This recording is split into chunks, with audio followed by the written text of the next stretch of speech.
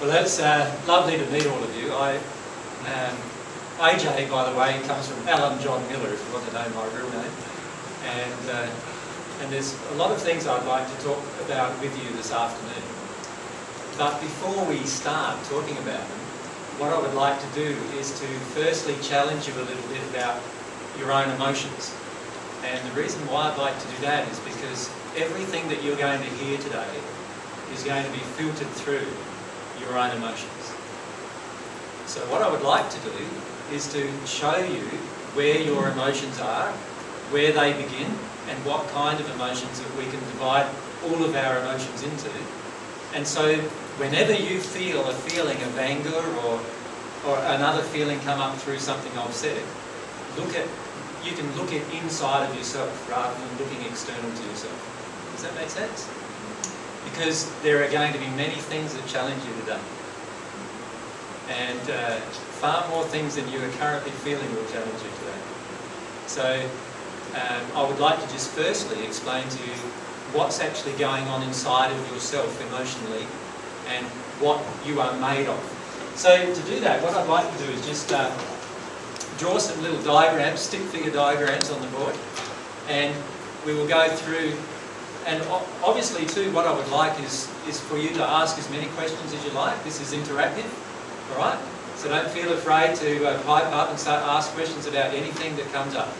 And you can put me under any pressure you wish, whether I respond to your pressure or not, totally, totally material. All right. What I'd like to do is firstly describe you as firstly your material body, right? And then you also have a spirit body. Are most of you aware of that? Yes. Most of you have had some kind of connection with spiritualism before, so you're aware that you've got a material body, the, the body you can touch, and this spirit form, and people see it, sometimes people, who of you are clairvoyant in the audience? Is there anyone who is clairvoyant, can see auras? Or see the outline around. So you would see the outline around a person and you can see that that is their spirit body or the emanation of light from their spirit body. But there's another part of you that I'd like to talk about mostly today. And I will call it this thing here and your soul. That's what I'd like to talk about mostly today. And by the way, you are a half of a soul. You're not a complete soul. You're a half of a soul. And we'll go into that later as to why that's the case. But firstly, what I would like to do is identify what's inside of your soul. Does that make sense? So what do you feel might be inside of your soul?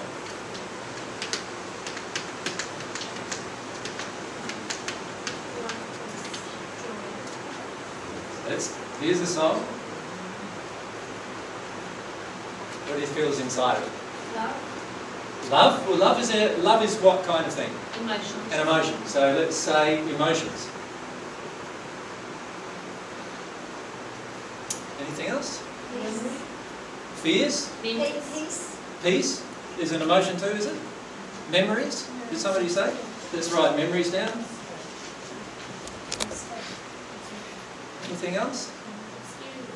Experiences, which really relate to memories, but they are sensory. So, how about uh, things you haven't yet done? What? what? Hopes. Hopes. Hopes, hopes and dreams, right? Yep, aspirations. Let's write it down as aspirations, sorry.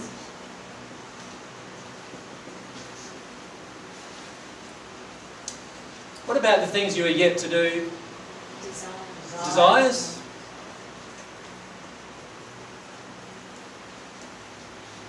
You can put intentions with that, couldn't you, too? What you intend to do, intentions. Now you can see what we're doing, and we could add a lot more to this, couldn't we? Passions. Feelings. Who wants to keep going?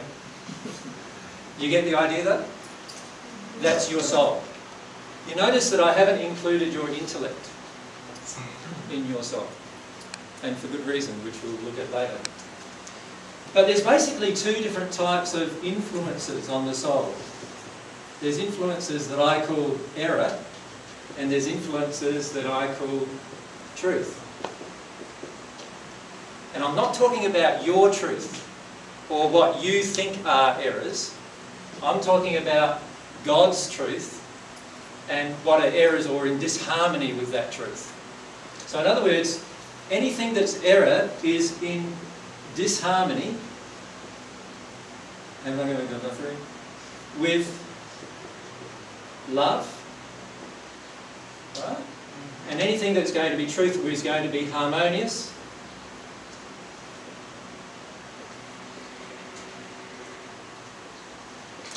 Alright. So you get the drift? You've basically got your soul, which is this huge container of emotions. And in this container of emotions and all of these other things, desires, passions, intentions, and all those kind of things, you have types of emotions that are disharmonious with love. Any idea of what a, an emotion that's disharmonious with love would be? Anger. Anger, okay, so definitely disharmonious with love. Why? Because it often creates a lot of trouble around you, doesn't it? It, it destroys what's around you often. Now, that, I'm not saying, by the way, at this point, to not feel your anger. Right? So please don't think that I'm saying that. I'm just identifying the truth of some emotions being in harmony with love and some emotions being in disharmony with love. Does that make sense? And you need to still feel all of your emotions, even the ones that are disharmonious with love. Now, today, what's going to happen is some anger is going to rise in you. There's also going to be doubts. What would you classify that as? Fear? Is that fear? Is fear in harmony with love? No. Okay. What other kinds of emotions might arise if you're confronted with a belief that you yourself don't have?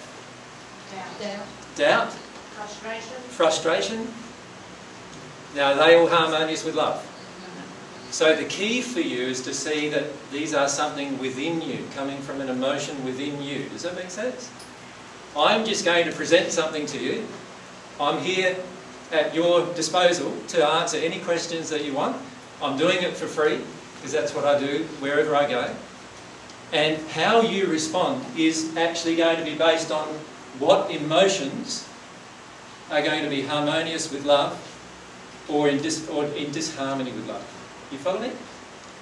Now that doesn't mean that I expect you to believe everything I say. However, it does mean that as soon as you get angry with what I say, then you're out of harmony with love. Does that make sense? Okay. So there are things I'm going to say that are just going to, like, just trigger you, like. And one of the thing, first things I'm going to mention is going to trigger you the most, right? And so, and so, what's going to happen then is you've got to let yourself feel. What's the feeling? Are you angry or are you doubtful or are you fearful? What are you thinking will happen with my statement? And allow yourself to feel your own emotions. And if you can do that, then you'll keep an open heart. Remember our introduction, Peter said to, to uh, keep an open mind? Well, I, I'd sort of term it more like keeping an open heart. And the only way to keep an open heart is to be open to your own emotions. Open to your fears, open to your anxieties, open to your doubts, open to your anger, open to your sadness. And if you're open to all of those things, you will find today very interesting. If you're not open to any of those things, you'll find you'll want to get up and walk out. Right? And you're allowed to, by the way. I'm happy with that. You're giving your time as much as I'm giving my time. So if you feel that you've just heard something that you just cannot accept and that's it, like I never want to see AJ's ugly mutt again, then away you go. That's fine. I've got no problem with that at all. These are the choices you can make. You have total choice. And that's one of the reasons why I don't charge for anything I do.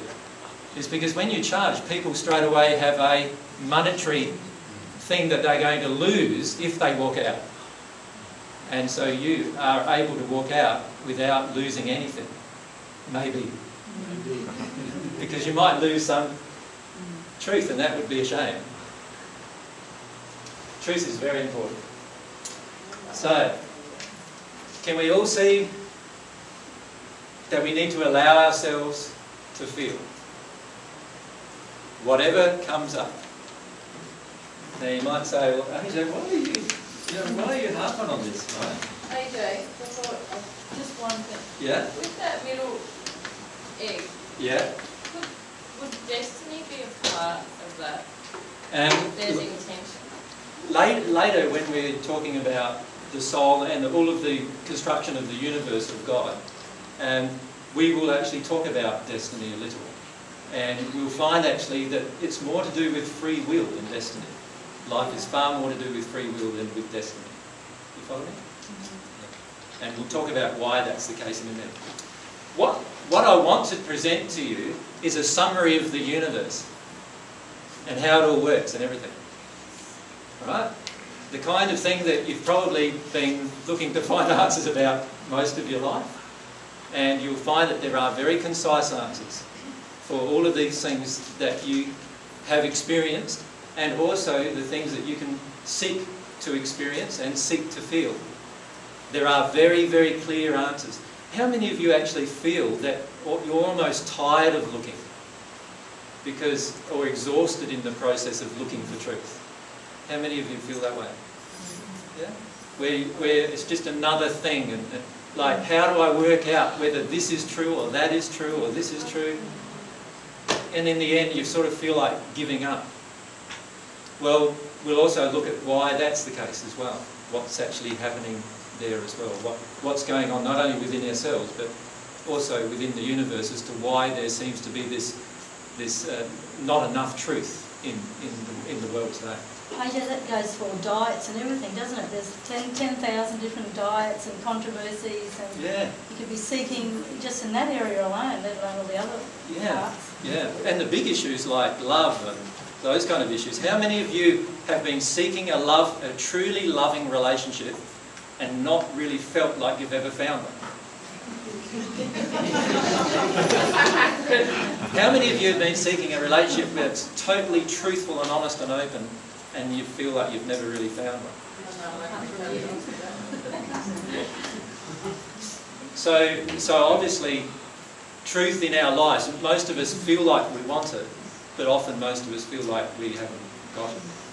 And uh, there's reasons for that too, which we'll talk about. All right, well, we usually start with the hardest truth first. And that's the truth about me. Right? So, um, and this is you're going to find very difficult to accept. I can guarantee you. now, the reason why I'm going to discuss the secrets of the universe with you is because I've lived my way through the secrets of the universe. And I've done that for the last 2,000 years. And I've only lived once on earth before. And the person that I lived as then was Yeshua ben Joseph, or you would know as Jesus. So how many are feeling really stressed out? Just repeat that again, I really need you. And the person I am is Yeshua ben Joseph, or Jesus, from the first century. And I've lived a life of 2,000 years from that moment. And I have 2,000 years of memories and feelings about everything that's occurred through that life. Does that make sense? And instead of, most people during this class finish up asking me, how do you know these things? And I try and avoid saying who I am in, as part of the process because I find that most people find that very confronting. But I want to be totally open and upfront with you. So it's important that you know where I'm coming from. Right? Now, you don't have to believe a word I say, and in fact, most people don't. and I'm not surprised. but there will come a time in the future where you'll look back on our discussion today and you'll see that I've been, that I've been truthful with you about, about that as well. Sorry, in that book, Power versus Force, it talks about um, the power of consciousness or the level of consciousness. So if Jesus had 1,000, wasn't 1,000, he did not, his soul would not have needed to have come back to earth to, to more. All right, so first thing is you're expressing your doubt, and that's great. Second thing is that uh, most people think that coming back to earth is a need. And that, and that is one thing that you will learn today that is not true. Coming back to earth is based on desire for love, a desire to actually give love to others. And I'll explain how the process of coming back to earth actually did occur. Many people today have uh, a lot of viewpoints of reincarnation. How many of you feel that some kind of reincarnation is possible? Or that you've experienced it? Yeah? So the majority. Um, how many of you feel that uh, you've lived multiple reincarnations in your life? Yeah. And how many of you can remember everything from that entire existence? Are you putting your hand up? Yeah.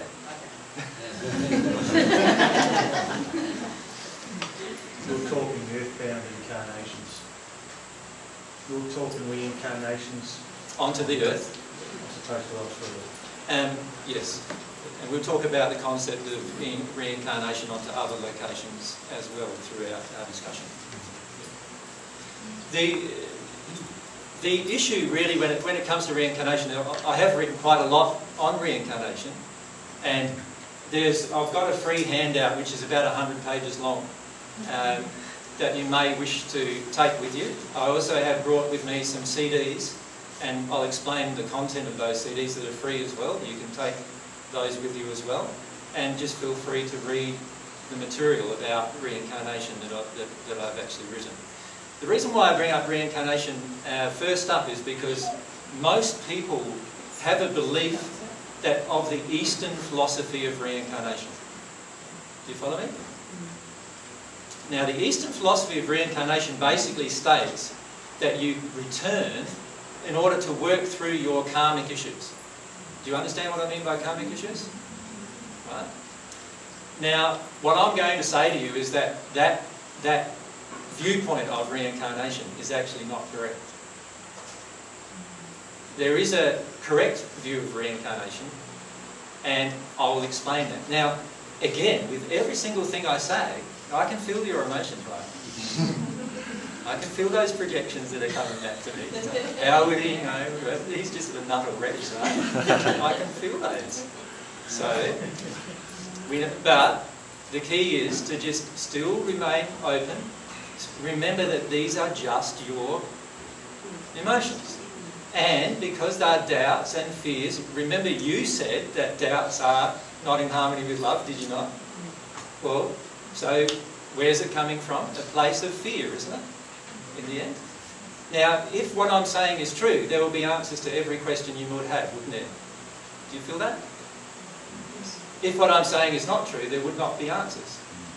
So give it a bit of time and see what questions you ask, and then see what answers come up. Now, what, after I make a brief presentation, which will take around about, when I say brief, most people who know me know that that's around about an hour.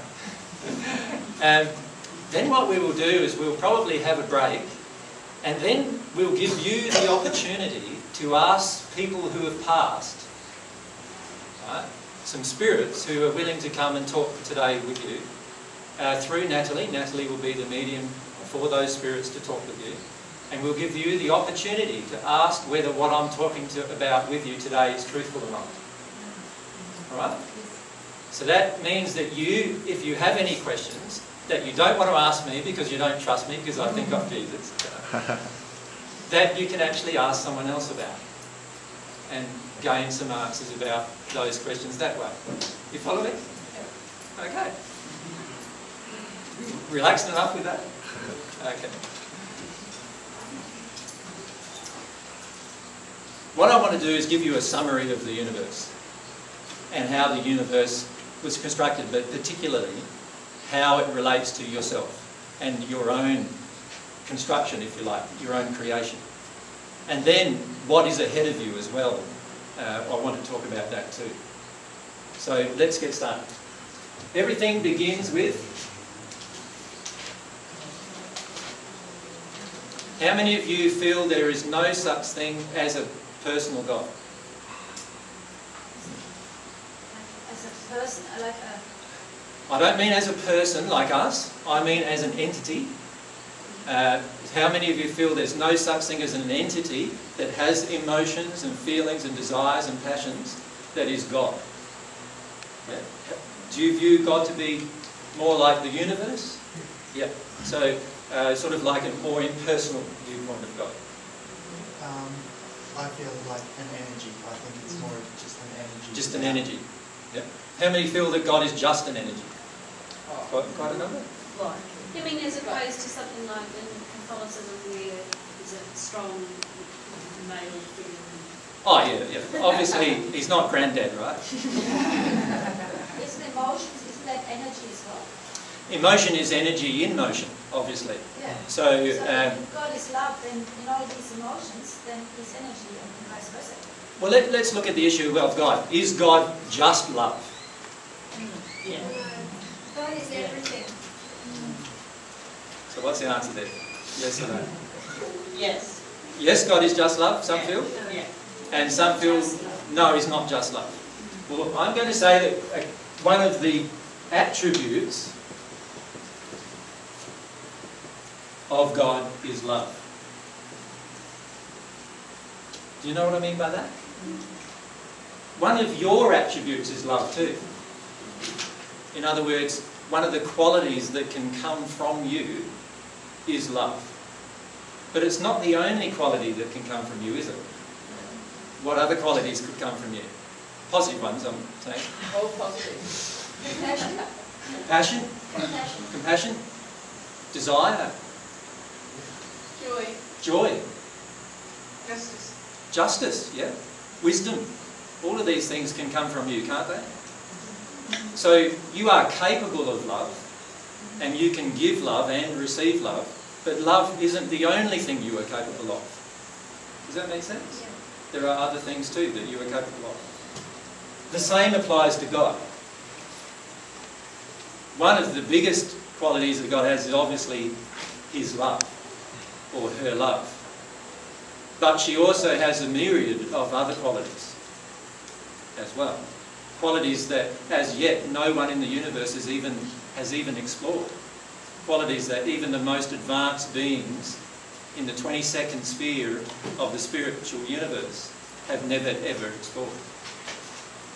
So there is this huge, God is this infinite being of infinite attributes and qualities. Can you describe your own feelings of what you feel that God is? Um, we would spend the rest of today with my answer. And let's just start with two basic things though. The first thing that I feel from God is this aspect of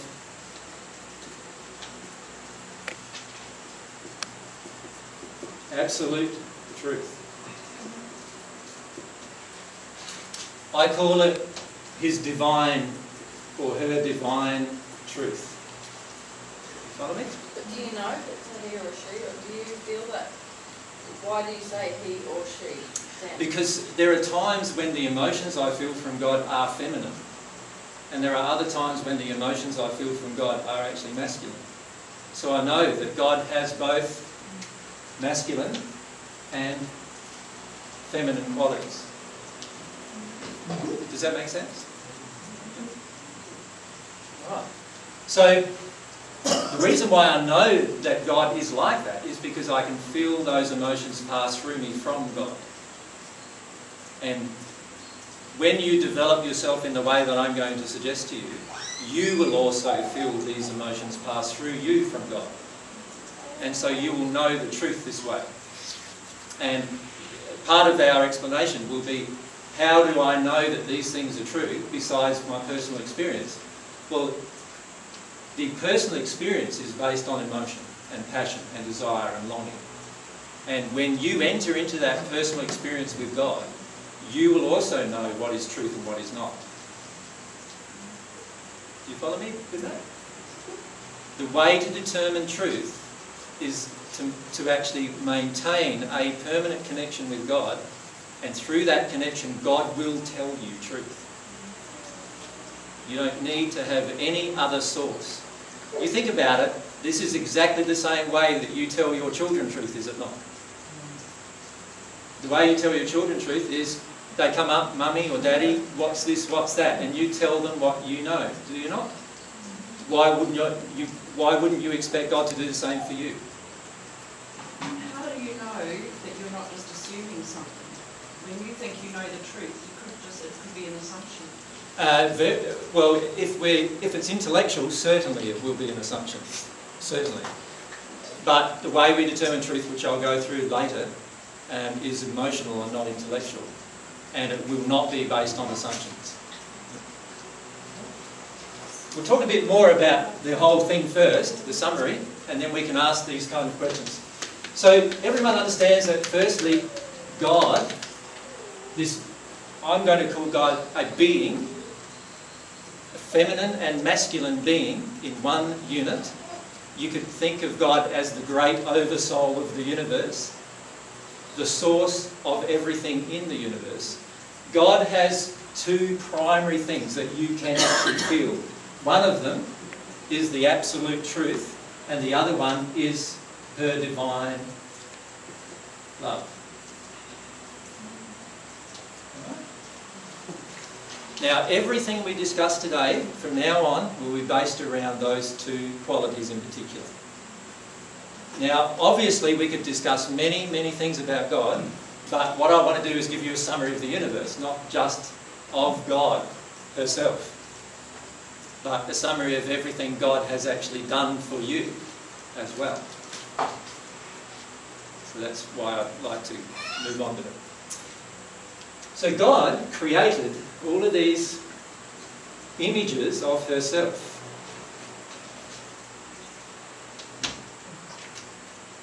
You could call them little souls, little baby souls, right? Every one of them have masculine and feminine qualities. Not in even proportion though. Now at that stage, and by the way, at one stage in your pre-existence here on earth, you were in that state. Who of you remembers it? I don't either, by the way. so before my first incarnation and before your first incarnation, you did not remember that state. Because you don't do. You can't connect with that state now. I had, I had a vision of it in a, in a meditation, and I never understood it Yep, yep. It's a, quite often spirits who are with you will give you meditation type experiences, explaining to you your, you, your pre-existence. Yep. If this is the pre-existence, is this also the existence between visits? Uh, no, It's only the ones. it's only the once, the very first time. The Very first time. The very first time, the reason why you don't have any consciousness of it uh, is because you are yet to understand quite a number of things that God has created within you. The first thing is you, that you have no memories. Right? So there's no memories at that point. You are also not even conscious at that point of your own existence. Who of you were conscious of that point in your own existence? You're not, are you? So obviously we were never conscious at that point. So we had no consciousness. Of self. You follow me? We did not know who we were yet because we didn't even know we were alive yet. We had not yet experienced anything. Does that make sense to you? Yep. But not everybody's, got- not everybody's there at once, are they? Like, are And they- there was a time historically where billions and billions and billions, in fact, un, you know, almost an infinite number of souls, was in that state. So does that mean there's still ones that haven't yet gone through their Yes, certainly. experience? There are still ones in this area of the universe that have yet to actually have any experience or any consciousness of their own experience. When you get to the 21st, to, to the 22nd sphere of the spirit world, you'll actually see them. You can actually see them in this state. You've seen them? Yes. And how many are there? Still, there are, there are, oh, I can't count them. Uh, and by the way, you can count pretty well when you're in the 22nd sphere. So that there's, there are billions and billions and billions of souls. Uh, and an infinite number of souls. And, and there is, no one's really still aware of whether they are still being created or not. Because they don't only populate Earth, they populate other planets prepared for, for the incarnation of man as well. So it's not just, incarnation doesn't occur just here on Earth. There are other planets in the material universe that incarnation occurs onto. And all these souls are there. So is that um, like humans in this form going to other planets or? And the soul is not in a human form for a start. Um, however, the, the human form on each one of these worlds is identical Um, in nature. but the soul itself is not human in the sense that it's not a human form, it's not something you can physically see. You only begin to see it through your soul perception. now, I'm going to say something else that's going to challenge you at that point. They have no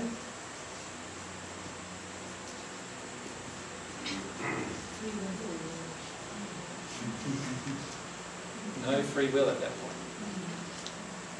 Now, the reason why I'm saying that is because they are not conscious of self. So if you're not conscious of self, how can you know what to choose? You can't, can you? Isn't choosing something dependent upon you being conscious that there is a choice? But, but baby doesn't choose either, does he? Um, in what way? You mean choose to incarnate into a mother? Well, Or choose... baby reacts. Uh, no, from the, from the moment of incarnation, you are making choices. And the incarnation doesn't occur just at birth, it occurs at, soon after conception.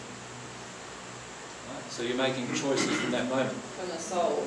At the soul level. self. Yeah, the soul level. The soul is absorbing emotions from that time of incarnation onwards, and we'll talk about why in a minute. So you can think of all of these as all these blank souls, right? You get that? The, the souls, they have personality, by the way, so they do have personality, and certainly have individuality, but they are not yet individualized. Do you understand the difference? Where does all that fit in with the notion of there was never a beginning, there always ever was, and there always ever will be? Um, yes, uh, the notion that there was never a beginning came from, originally from people who decided they could not understand God. And so what they had to do was they had to come up with some concepts that defined their own existence. And one of the concepts is this concept that the universe expands, contracts, expands, contracts continuously. And as a, as a result, all of these souls, or you yourselves, are all born, die, born, die, born, die as well as part of this process. And it comes from those kind of doctrines and teachings that were established tens of thousands of years ago. And we still have a lot of them today. And they are based around not understanding how God could exist. So those souls there, that is the beginning of time for them. For them, the instant that God has a desire is the instant that whatever God desires is created. So whenever she desires to have children, whenever she desires to have children, she creates children in that instance.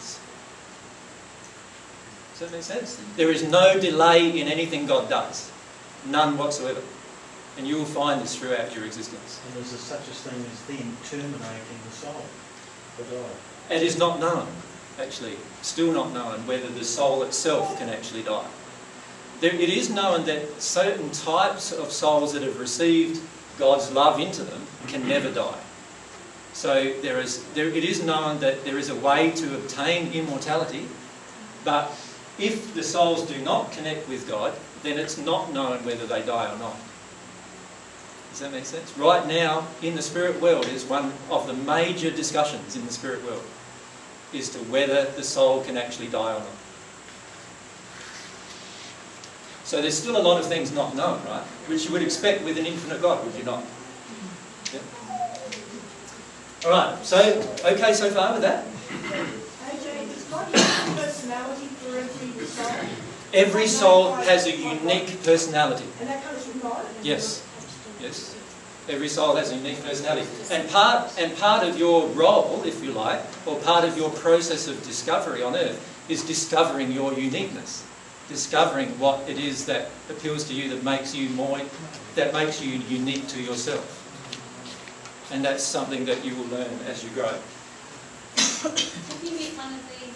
individuals who, with God's grace, will not die, And there are billions and billions of them in what are called the, on the planet, uh, not on the planet, but in the spirit world, billions and billions of them. Yeah, when I say never die, I'm not just referring to this planet. Do you understand what I mean? I'm talking about the soul dying, not, not the body of the individual. The body is not you. You are not your body. You are not even your spirit form. You are, in fact, a half of a soul. And that half of the soul, as far as it is, kno- as far it is known, does not die. And I say as far as it is known because there are one souls that have received divine love and we know that they will never die, but there are souls that have not received divine love. And we'll talk about why that's the case. Um, devil or Satan, was he once uh, one of those souls? And, and did he not dis, uh, receive the divine love? Or why did he turn evil? And this is going to be confronting. There is no devil. Um, yeah, There's not no as a, Satan, uh, you know, and stuff like that, but no, as a, an evil spirit. There's no evil spirit who is the devil. You think about it, um, how would an evil spirit be able to control other evil spirits? If the controlling force of the universe is love, it's going to be impossible for a devil to control other devils of lesser, of lesser evil. So why is there the, the, um, the devil mentioned in the Bible then? Um, man wanted to come up with an explanation as to why there was so much evil in their heart. And they've always, historically, tried to blame someone else for it. So is that Adam and Eve and, and all that story? So are you going to tell us the, the real story now, or what? Certainly, there is an Ammon and a man, the first human couple, that populated this earth. Certainly. And you would know of them as Adam and Eve. You can talk to them in the spirit world. And they will talk to you if you get to the development where they can talk with you. But who Eve then um, to take the apple or whatever fruit that was? No one made Eve do that. It's an, it's an analogy of something that actually occurred at their choice level, at their soul level. It's an analogy of a choice they made to actually reject divine love. We'll go into some of that later, yeah. And we'll go through that in a minute because you'll see in the construction of the universe how it actually is created.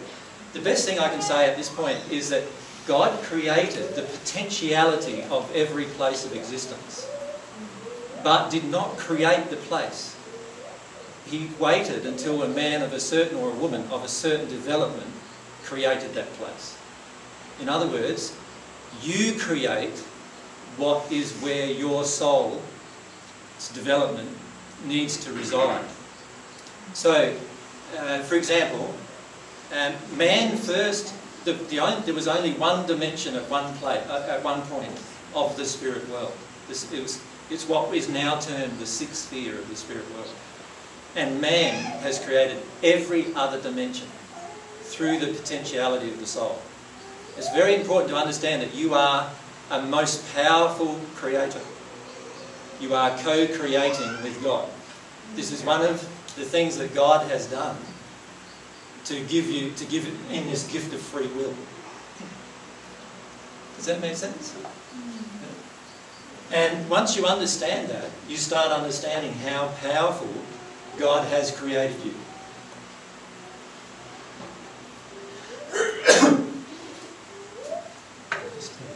Is there any more questions so far? AJ, um, in, uh, uh, in the soul, primitive soul form, I suppose, uh, there's no consciousness, there's no free will. How was the choice made to take another step? There's two things at play, two very, very large things at play. Firstly, God's desire for each soul, and the second is the, the laws of attraction that are based around. You've all heard of the law of attraction, right? Well, the law of attraction is much, much larger than what is currently conceived by man today on earth. The law of attraction guides almost every operation and even every mathematical operation that God has created is guided by the law of attraction. And the law of attraction determines how this soul incarnates. The law of attraction in particular of its parents. The opposite way around than what everybody says, right? Everybody says that you chose your parents. What I'm saying is that your parents, to a large extent, chose you. And we'll talk about how that occurs in a minute. There's quite a few different things, isn't there? That, Can I ask a question, because it is one that troubles me somewhat. yeah, Um, if in life you have the best intentions Yep. and in love and fairness, why is it you get affected by, I mean, with the law of attraction, why is it you attract the opposite? yeah. Uh, does everyone want to know the answer to that? Okay. I'll have a bit of a side from our discussion and answer that. What was your soul again? Passions, desires, aspirations, feelings, emotions, emotions, memories. desires, Memories. and so forth, right? Remember there were two influences. Mm-hmm. What were they? Error. Truth Here. and error. Yeah. Now, none of this included your intellect. Very important point. The soul influences its two bodies. Remember I drew two bodies next to it. Yeah? The spirit body and the physical body. The spirit body has a brain. The material body has a brain. Right? When you pass, you will remember absolutely everything of your experience on earth. Absolutely every single thing. Because the information is not stored in that brain. All that brain is, is a way for your spirit form to control your material form. So, the information is stored in this brain. You follow me? It's stored in your spirit body's form. And all of your experiences get filtered through that into your soul. So the question, getting back to the question, why is it that I try my best to do a certain thing and the opposite happens? And the answer is very simple. There is an emotion or a desire or an experience or a passion inside of your soul that you do not think you have, that you actually have, that attracted that event. And it's that simple. For example? Uh, for example, let's look at uh, a lady who grows up in a bit of an abusive household and lo and behold she marries an abusive man. How many of you ladies have actually been in a relationship with an abusive man? Quite, quite a number. Okay. What's happening there is because of some injuries in her soul about unworthiness, she is attracting a person who wants to harm her. And she is willing to see that as love. You follow me? That happens here, not in the mind. In the mind, she knows she doesn't want to be beaten around, right? She knows she doesn't want to be harmed and abused. But there's an attraction occurring that has attracted her to that man who is abusing her. And that attraction is based on feelings of unworthiness, being unwanted, being unloved, and quite a number of other emotions. While she retains those emotions within her, she will continue attracting men who will abuse her. Even though in here she's saying to herself, I don't want these guys. Why do I keep getting them? Does that make sense? But here, the attraction is still occurring because the emotion still exists. The feeling inside of her soul still exists. How many of you have walked up to a dog and it's barked at you and been really angry at you, and yet another person walks past the same dog and it doesn't do anything? How many of you have noticed that? Mm, yeah. Yeah. Why does that happen? Because here you might think you're not afraid of dogs. But here, something's going on in your childhood that's created this attraction. And the dog is so sensitive to it that it will respond to it. Just in the same way as humans respond to it too. Does that make sense? That is the answer as to why. I know it's a very specific, uh, um, like small answer.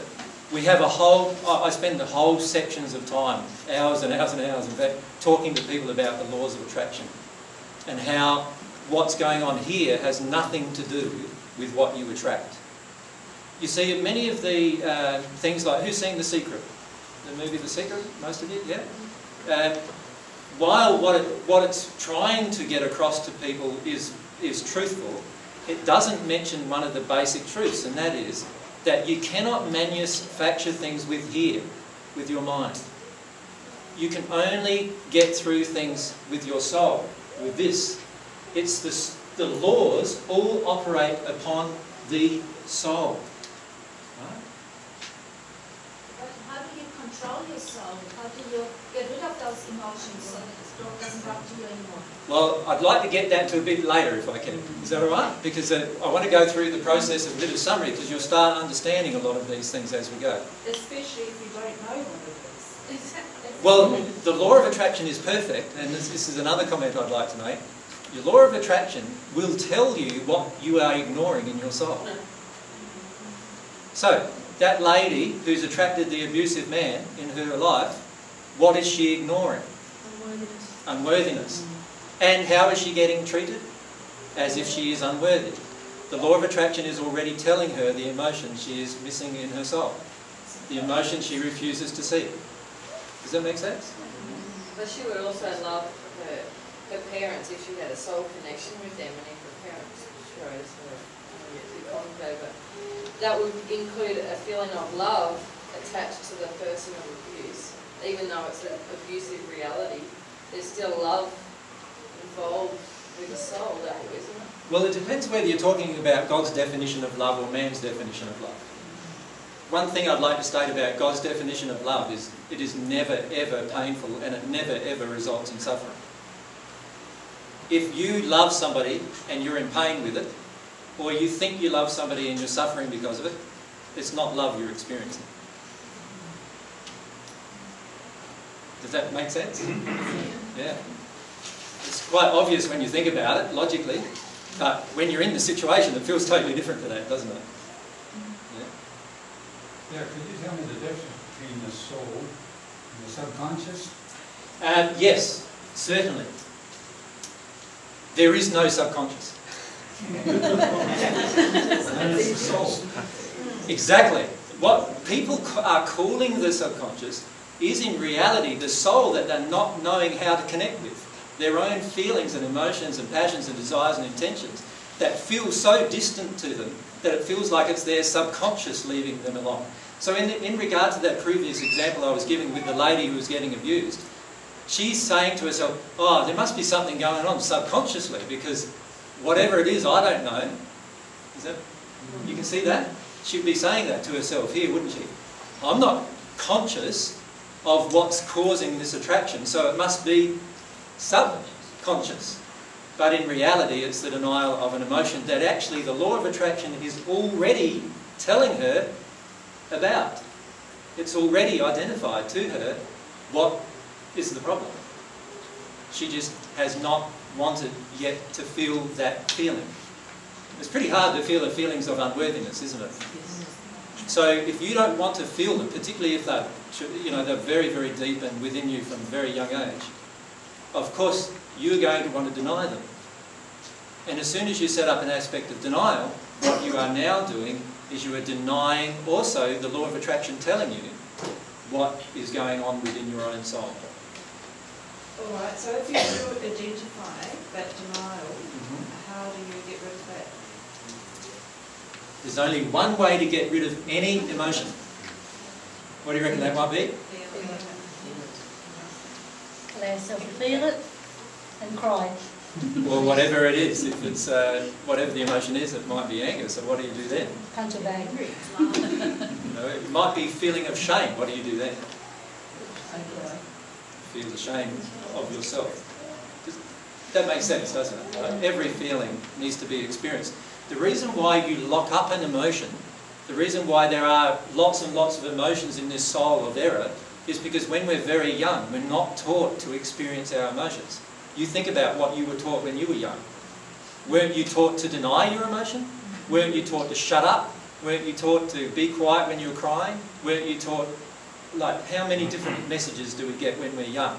By the time we're five, we haven't got a hope to feel our emotions, really, have we? Because we've had so many lessons of denial of our emotions. Don't cry, get distracted. All sorts of things happen, don't like how many times uh, does our child come and we sit them on our lap and they're crying and what do we say?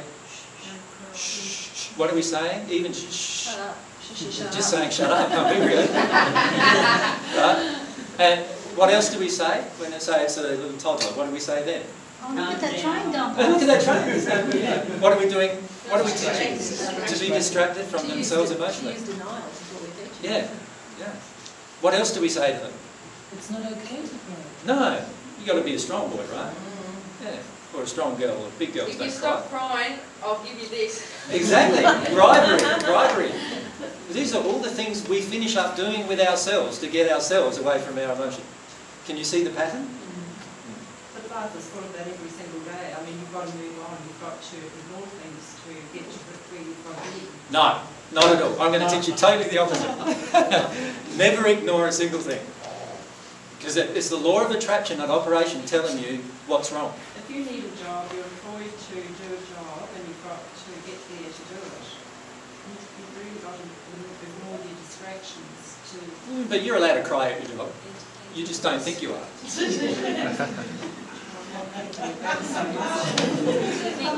You've got, can't ignore a red light. Well, you could. There's a consequence. So then, therefore, the unresolved emotions towards the end of your human existence in this body, what happens with that? They, they are all still within you when you pass. You do not lose your unresolved emotions when you pass. They remain within you in your existence. All of your memories, all of your unresolved emotions. Today we are going to talk to some spirits who have had fear, for example, in them. And when they passed, they had that same fear. And they spent many years in the spirit world, still in the state of fear. Right? So you will not all of a sudden have this fantastic epitome, and all of a sudden, there's all of these emotions that you're holding onto right now are not going to be gone. The truth is, what's going to have to happen is you're going to need to choose to actually feel them. It's a choice. Once you get through to the next life, are you able to resolve those here unresolved emotions, or is Yes. that why you have to come back? No, you, in the spirit world, you are perfectly able to resolve all of your unresolved emotions here. Right? So there is never any, and in fact, when we talk about when we talk about reincarnation, you will see there is no need to come back to experience your unresolved emotions. Today, we are going to talk to some spirits who have dealt with their unresolved emotions and not had to come back to earth to do it. If they're called to come back from a loved one, is it their choice whether they come back not? When you say called to come back, are you asking in the point of view of reincarnation, or are you asking from the point of view of visiting you? Well, yes, uh, they will respond based on their feelings. So if you have a feeling on earth that you want to talk or feel one of your loved ones who have passed, you will attract that loved one to come to you. And if they will come to you if they want to.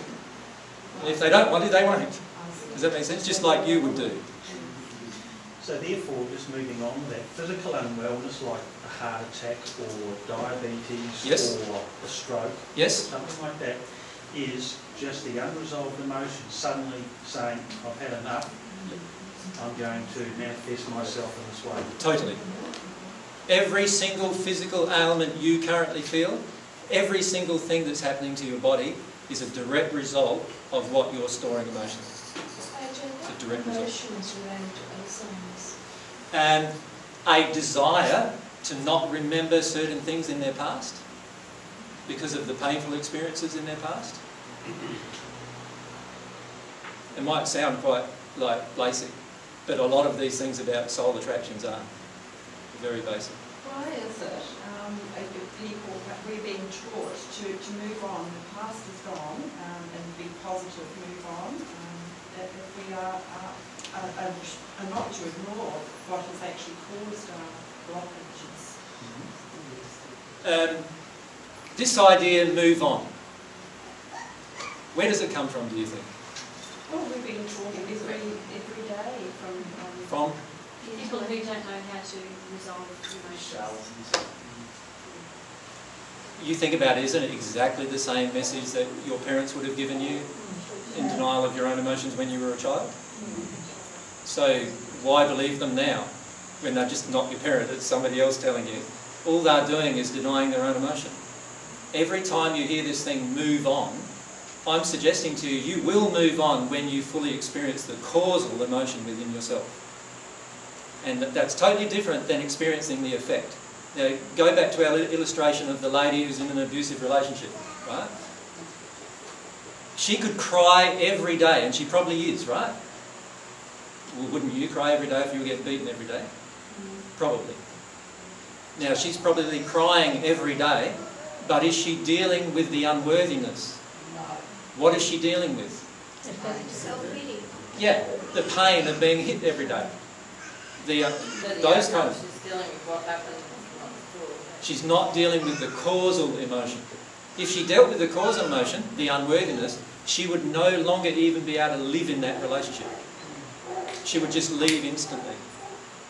The instant she deals with that causal emotion. That makes sense, doesn't it? She would leave happily. She would leave happily, yes. It wouldn't be a trauma for her to leave. She'd want to leave. Yep. When you deal with causal emotion, you get up and do it immediately. Can you please explain why we are half a soul? I can to understand. Ah, well, we're getting to that. And that's the bit I'd like to get to next, actually. Right. Let's look at the first, the very first incarnation process that you go through.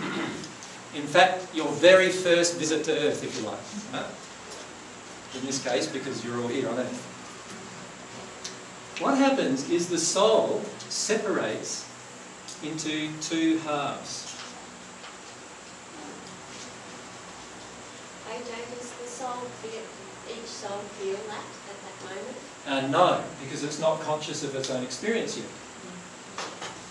Like a male and a female heart, or are they both exactly? There's lots of different combinations. Well, when you think about it, there's only three possible combinations. you think about it. If you've got a whole complete and it's separating into half and it's separating into a male or a female body, it can only be either a male and a female, a male and a male, or a female and a female. Can it not? Mm-hmm. There's no other She combination. said they separate. So they were once one and they separate. They were once one soul and they separate into two halves. You are right now one half of your soul. For what purpose do they separate? Ah, we'll get there. She's saying more. Yeah. There's months worth more. Is it common to animals and rocks and plants? No.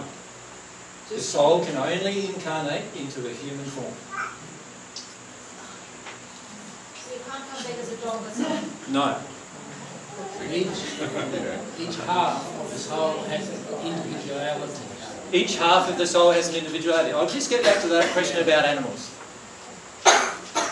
The reason why you sometimes think that somebody might have come back as an animal is because there is a law of attraction at work between the person who's passed and that animal that you feel.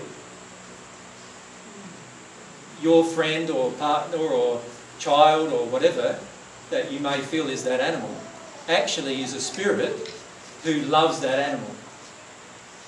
Do you follow me? And as a result, you feel that coming from that animal. The animal will behaviour will actually change based on the emotions of the people that are surrounding it. And when I say people, I'm not just talking about earth-based people, I'm talking about the souls that are surrounding it. That make sense?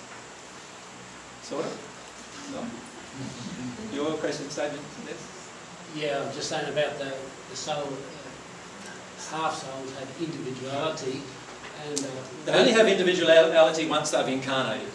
Because they, when you say individuality, let's, to term, let's separate two things. There's individuality, then there's individualization.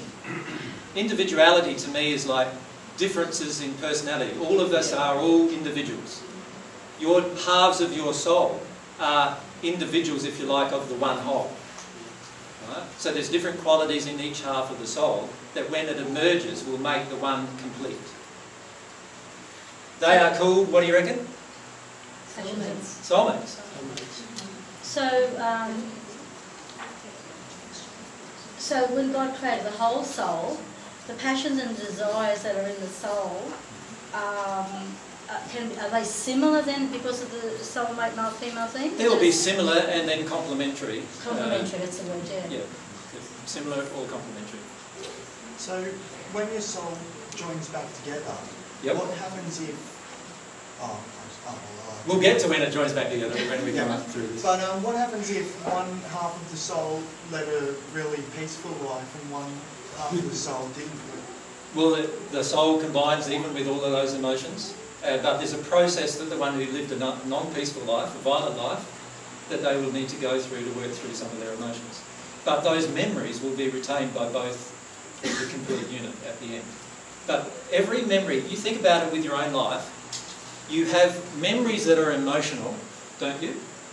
And you have memories that are no longer emotional, don't you? Why? Because you've dealt with them. And it's very much the same here. Eventually you get to the stage in your progression where you have all the memories of your existence, but no emotional attachment to those memories because they are now dealt with.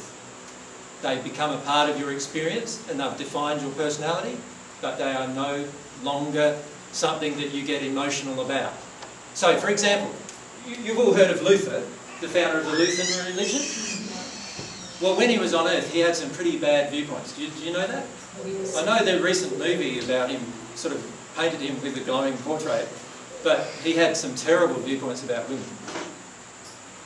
He, he called women subclass, and he said the best way to keep a woman was to keep her in the home. Is that what And barefoot and pregnant, yeah, there's an extension of it. Now, Luther is now one of those spirits that I have mentioned who's up above what's called the eighth sphere of the spirit world. And, and he's, he's in the celestial kingdom. He is actually at one with God now. Must be hard for us then. So he had to go through the process of working through those emotions. Does that make sense? All right, let's, when they incarnate, obviously the material bodies and spiritual bodies are created by what?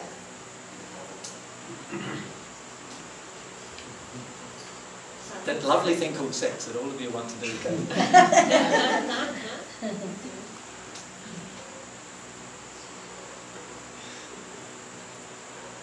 Right? So genetic, your genetic creation at the spirit body level is created at the same time as your genetic creation in the material body level. A spirit form and a material form is created at the same time, and the soul incarnates. Now, when you say, when I say incarnates, there's this viewpoint that most people have that it goes inside somehow. The truth is that the soul actually attaches itself to those bodies. Isn't the soul all around? If if this is a soulmate, though, they have to be born on the same day then, basically? No, No. No. Because if they incarnate, if they get split up, it's not half a soul floating around somewhere. Yes, The there is. one is incarnating. Yes, there is. When what happens is the riskier half of the soul incarnates first, and the other half of the soul remains in this soul state until it is attracted to an incarnation as well. Now, there might be a gap of up to even 20 years between those two events. What do you mean by riskier? Sorry? What do you mean by riskier? Usually, one half of the soul has a has a more riskier nature, a riskier personality, part of the personality, and it's that half that incarnates Where's the other half of your soul? uh, on Earth. Do you know who it is? Yes. You want to know? Yes. No, I'm not telling you. no, the reason why is because she needs to go through this whole process of emotional, uh, this emotional process too. And obviously, if she's got the projections of lots of other people doing that, then it's going to be very, very difficult for her. So, so, but I do know exactly who she is, and uh, How do you know that? Do you have witness? I knew the instant I looked into her eyes. Uh-huh. So, was this the same for you in your first incarnation? Yes, You knew the instant you looked into her eyes then? yes, yes. So, are we always the male and the female? No. The Apostle John, uh, you would have all heard of the Apostle John, like from the Bible. Well, the Apostle John has a male soulmate.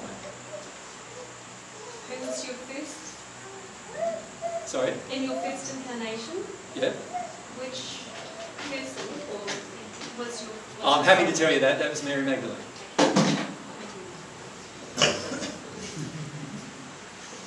That's as far as I'm going to go. What happens is that as you get rid of all of your soulmate-based injuries, you will be able to recognise your soulmate. A lot of attractions on earth at the moment are based around injury attraction.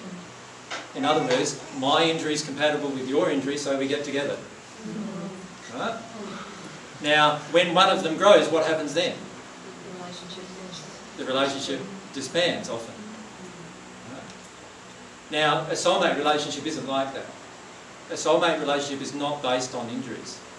In fact, the lady who is my soulmate now, my soulmate always has been my soulmate, by the way, but the physical form she is in now, I would not normally have been attracted to because of my injuries that I've retained during this experience. Are there many soulmates you could have in the, in the, world? No. Well, how do you get attracted on the other side of the world Uh, certainly, but what happens, if you understand the soulmate process, what happens is the first half of the soul incarnates, right? Now, let's say it's a baby and then it moves to another country. What will happen is the second half of the soul, there's a, there's a very, very strong law of attraction between the two halves of the soul. And the second half of the soul follows around, if you like, the first half of the soul. And when it's ready to incarnate, when I say ready, it's based on the law of attraction from parents and so forth, it incarnates very close to the location of the first half of the soul. But of course, the first half could move back to its original home, right? And then they might be a world, you know, the whole world apart. But the law of attraction operates in such a way that those two will eventually probably meet each other during their lifetime on Earth, in particular if they are sensitive to their own emotional state. Could it go on for many lifetimes before we meet? Um, there is really only one lifetime. I've really only had one. The soul, remember, I'm talking about the soul. The soul is the real you, so there is only one lifetime, yours, right now. Why is it so many people don't meet their soulmate? Uh, because of the injuries. The more, the more injuries I have, I can walk past my soulmate in the street and not recognise her or him. If one half dies, or, you know, Yep. does it, does it happen for the other half to die as well, to be uh, combined in the spiritual world again? and No. Split up again, or? No. No. No, by the way, the two soulmate halves can recombine here on earth. It's never been done before, but they can. Two halves of the soul can also recombine even if one half is in the spirit world and one half is on earth. And the two halves of the soul can recombine in the spirit world, and that certainly has been done many times. if they recombine? How does it, what does it mean? Well, let's get to there first. We've got there's a fair bit between here and there. so let's do that. So that's the process. So that process I would call the process of incarnation. Does that make sense? Incarnation. Is there a reason why God made that so complicated? Or why is that so? It's actually not complicated. It's quite simple, isn't it? Carne in Italian means meat or flesh. Yeah, and what actually is happening is that the way God created it is that the earth where we're living is the nursery of the soul. This is where you learn your beginning lessons of the soul that God wishes to teach you if you choose to make a choice to be taught. Now, the reason for the incarnation into the material format first is because it is the simplest of all formats of life. And so that is the one you incarnate into first. At the moment you incarnate, you are now individualized. So if a woman uh, had an abortion, for example, or a miscarriage, it's a soul you're miscarrying, not just a, a fetus, but actually a soul. And those souls pass into the spirit world and are looked after by other mothers because I've already been individualised. I've actually talked to some who have been looked So after. they for come back. They don't need to, know. Some, some will choose to, but they don't need to.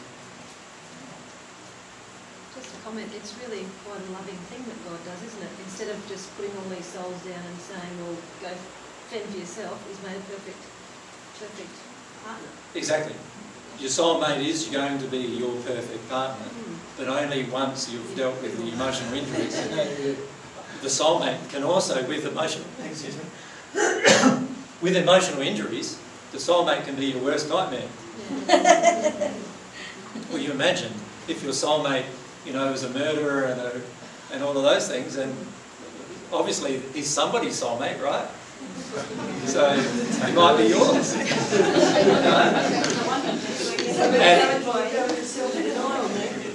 There, there's many instances in history where this has occurred. Um, you've all heard of Nero, the Roman Emperor Nero. Yep. Uh, he, he murdered his own soulmate.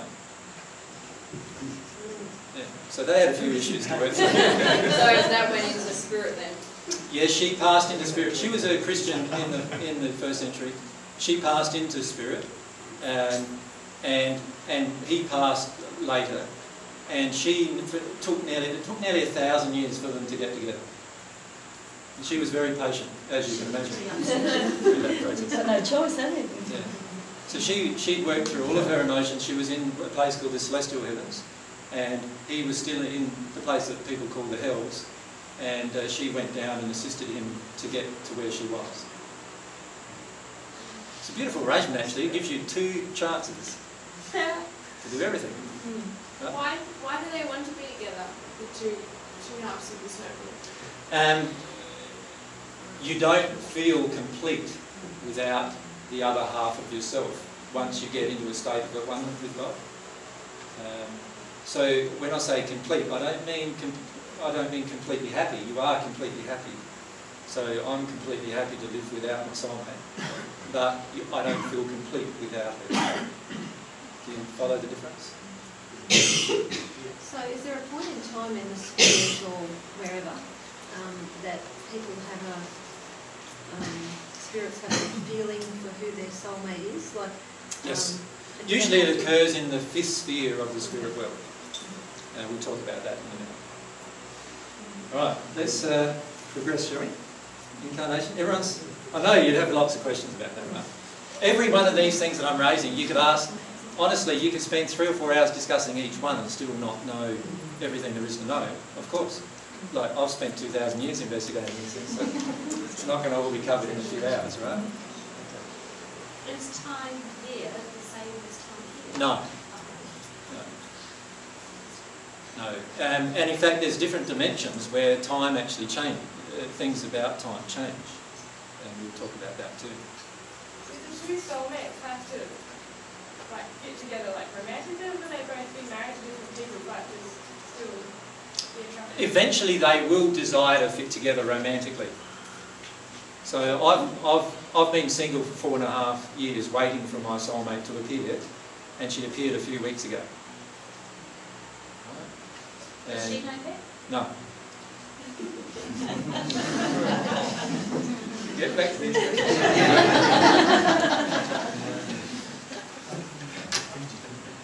All right, let's uh, let's see what happens above there first.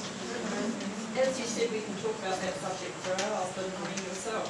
Um, obviously, you've obviously just fallen in love, like the rest of us can do and have done a couple of times, and you think it's your soulmate, you know, for the first. No, I, I haven't just fallen in love. I've been in love 2,000 years. I just recognised it. I see who I saw who she was in this incarnation. Is that the same person as like in your first reincarnation then? Hmm. Maria Yeah, not the same physical person. But it's the same. It's the same soul. same- Yeah. It always has to be. Sorry. It always would have to be. It always will have to be. Yes. But she's not aware yet of who she is. She's not aware yet of who she is at the soul level. She she feels an attraction for me, but she's a bit confused about it. So, Does she know who you are? well, she knows who I claim to be. Shall we put it that way? what would you think if somebody come along and said, honestly, honestly he would say, honestly, to be fair, it's not going to be like that. Did, you she go up to her and say, Mary, I found you? No, no, well, I don't want to scare her to death before she... Well, you can see the obvious problems, you know, like I'm saying I'm Jesus and, you know, naturally she's got some issues with that. But, so she hasn't had any memories? You only have memories when you allow yourself to feel your emotional state. You think about all of your memories. When you want to bottle up a memory, you bottle up the emotion, and so you forget the memory. You, how many of you have had a, had a memory where there was something that happened when you were a child, and you've gone through an emotional experience as an adult and remembered it for the first time for, for years and years and years? Most of you, I would have thought. And, and the reason why that is, is your, your memories are totally dependent upon you being open to emotionally experience each memory. Now, if the person is not willing to emotionally experience a memory, then they will not have the memory.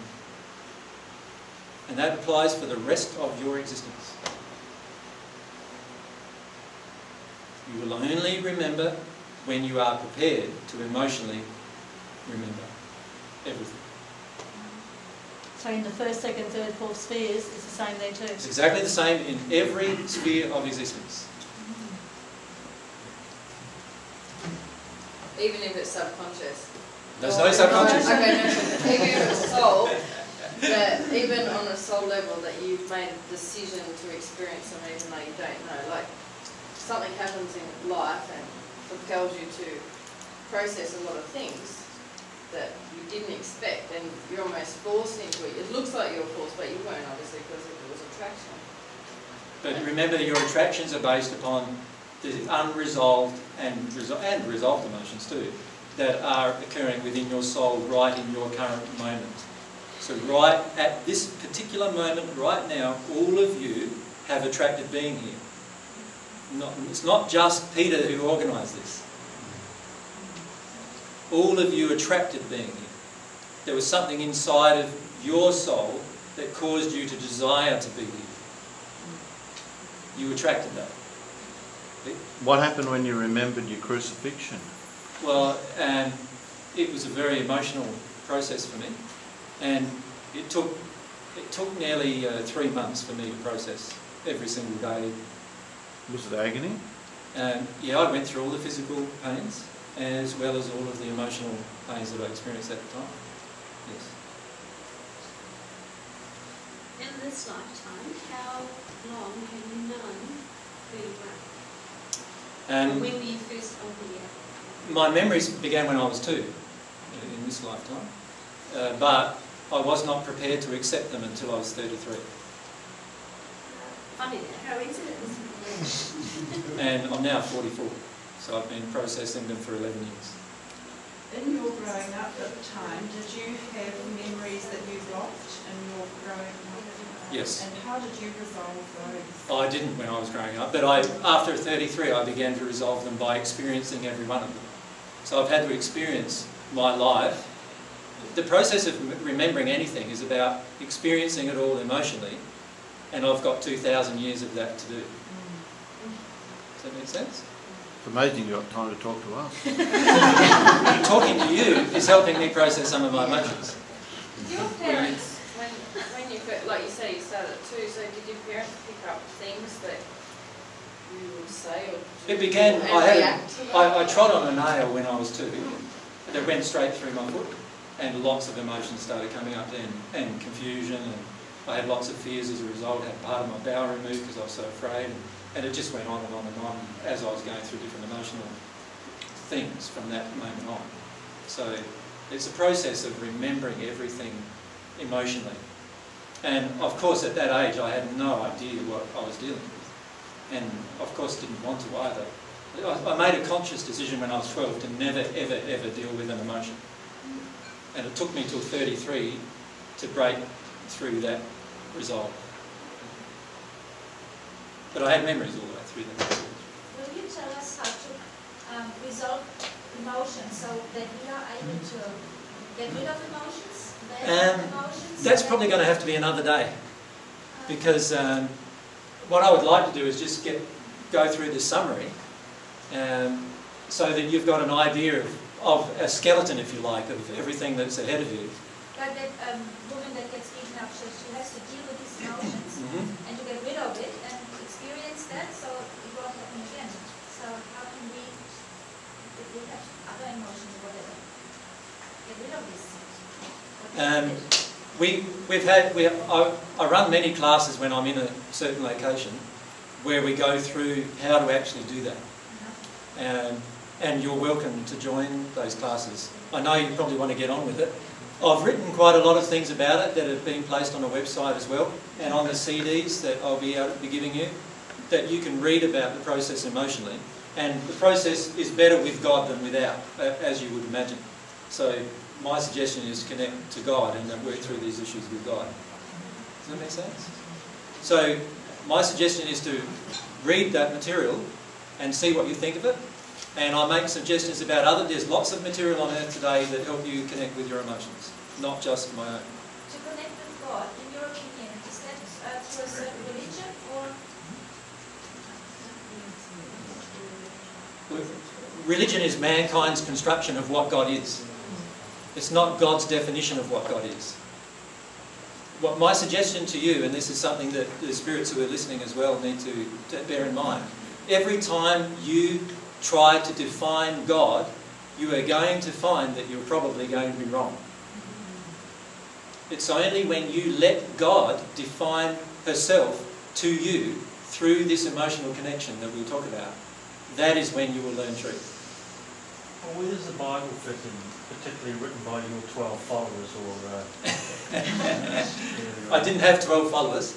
Um, there were obviously lots of followers in the first century, and I didn't have a favourite 12 that I picked. Um, they are all the constructions of people who wanted to fit 12 into some patterns in the Bible. And uh, there were some mathematicians who were involved in religious study, and they wanted to fit all these patterns together. The, but the Bible as it currently is has been heavily modified from the experiences that I actually had on the earth in the first century. Now, again, I, I'm happy to have a session where you ask me any question about my first century life, and I can tell you anything you want to know. And you'll find some of it is in harmony with what's in the Bible, and some of it is not. And you'll understand where it obviously is being modified too once you hear the true story. And I don't really want to focus too much on myself, aside from the fact of just being honest with you about who I am. Um, I, I prefer that you focus on your relationship with God, uh, because obviously all I am is the same as yourself. I'm just a child. the Bible talks about God, and uh, it's written obviously by many people. There are certain truths in the Bible that are very true about God, and there are also certain errors about God too. You know, obviously anything in the Bible that refers to God as being a God of wrath, obviously is incorrect. Uh, for example, and there are many other examples I can pull out too.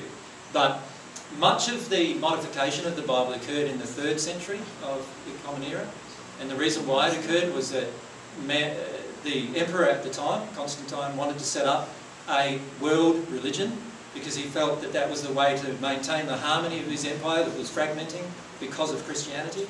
So what had happened is so-called Christianity grew from the time I was on earth to the third century, and there were so many fights and wars about the whole thing. Obviously not Christianity, eh? But um, there were so many fights and wars about the whole thing that what he did was he tried to unify the the Roman Empire again by making it the Holy Roman Empire, making it religious.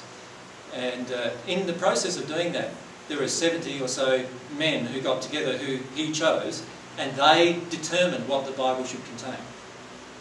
And in the process of determining what the Bible should contain, they chose many things that were in harmony with their own belief system, and they rejected many teachings and things that were written that were in disharmony with their own belief system. And my, my own soulmate in the first century wrote some books, and all of those were dismissed from the Bible. Only men usually contributed to the Bible. There are very few women. Even the, even the books that are named after women, even in the, the uh, Hebrew scriptures of the Bible, were written by men. Um, so, so there's a lot of distortion historically. And as you know, his story is really his story Yeah. uh, rather than the true story. And you'll actually find when you pass that every single word in the Bible that was not originally there, you'll be able to identify. There are books in the spirit world that are accurate based on the first writings. Uh, and yes, there are books in the, in the spirit world. There are homes, there are gardens, there are Music? mu- there's music, there's art, there's all of these things that you think are possibly not there. They're all there. What is a house for a spirit? They're in different dimensions. Sorry? What does a house for, is that a spiritual house then, or is it a No, physical house? if, if you, depends what your condition is. So if your condition is like you're a murderer and a and really angry man or whatever, you probably won't even have a house. Um, there's a location in the spirit world. house with a... This sounds so... You know, for a spirit, a spirit is something you can't touch, and a house is something... No, be careful there. A spirit is something you can't touch because the material that you have is very dense in the, in the way that it's uh, constructed. And it's to do with the vibration of your physical body that causes it to look solid to you at the moment. To a spirit, your body does not look solid. They can actually see the flow of, they can see the organs and even if down to the flow of electrons, uh, they can actually see it flowing. They can see the energy emanating out of your body as well. They can actually smell it as well. So, spirits have. Um, the best way to explain it is like this. Here's the half of your soul, right? Here's your spirit form. Here's your material form. And oh, sorry, I better do the dress thing for yourself. So here's your material body. And here's your spirit body. Most people believe that when you pass from a material world into a spirit world, that you have less sensory apparatus. You understand what I mean by that? Most people believe that you have some kind of limitations imposed upon you by passing. The truth is actually quite the opposite. Every part of you has greater senses than the previous part. So your material body, we often say, has five senses, right? The spirit body has many more senses, and the soul is much more powerful again. And then if we look at the complete soul, that is much more powerful again. So anything you can conceive now on earth is going to be very, very different in the spirit world, but better, not worse.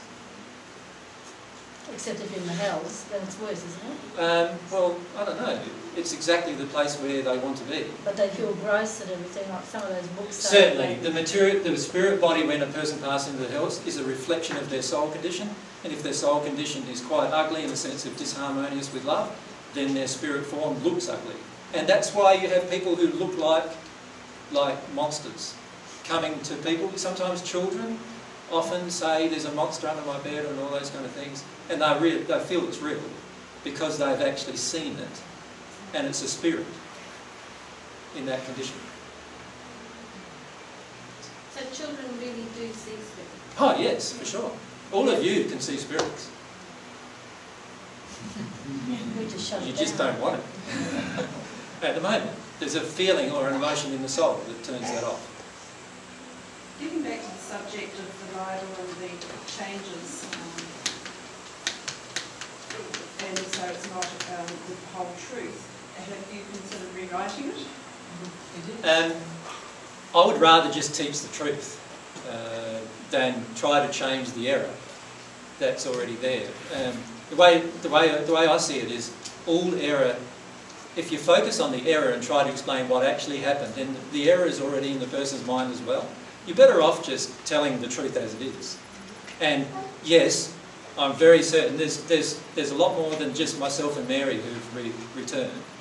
And all of us will be writing material that will explain what's going on and what actually happened in the first century as well. Yes, it's just that you're not reaching out to the, to the population. Not So- yet, Ayana. There's a reason for that. What might it be? Not really. They're not all looking, they're not all searching for it. Mm-hmm. You're just not ready. Well, I'm not ready, firstly. And And secondly, the world's not ready yet either. There are lots of individuals in the world, like yourselves, who are becoming ready to even put up with me saying that I'm Jesus, right? And still stay here and listen, thank you. This might still be sceptical, Very much so, I understand that. um, and this is why the questions. Yeah. And questions are fantastic. It's questions that are asked uh, to debunk that are obviously not. So if everyone here was saying, was rubbishing me, then I'd just walk out and go home and wait for another opportunity. Does that make sense? But the fact that all of you are open just to ask questions is lovely. All right. Do you and your soulmate Yeah. have children? Yes. Wow. One boy or girl? A girl. She was born after I died. Mary was pregnant when I was uh, crucified. Her name's Sarah? Her name is Sarah. Yep. And where did Mary go after? Sarah is currently in Canada, by the way. She is one of the ones who is reincarnated to us. Sorry? Where did Mary go after Uh, firstly to Egypt and then to France. Yeah, and, but she was killed in Rome. Is she back in the material world? Yes. Sarah, you mean? Or Mary? Mary is, And Sarah. Is too. And Sarah, you our soulmate, is too. Can you meet up with them? I have already. You, you will meet them too, probably. Some of you have already met. Will we know who they are? Um, you will only be able to hear their story like I'm telling you mine. Um, and you'll need to work out what you can trust and what you can't and so forth. Um, so, it's, but certainly they'd be happy to tell you their story. So how do we find it? How do we?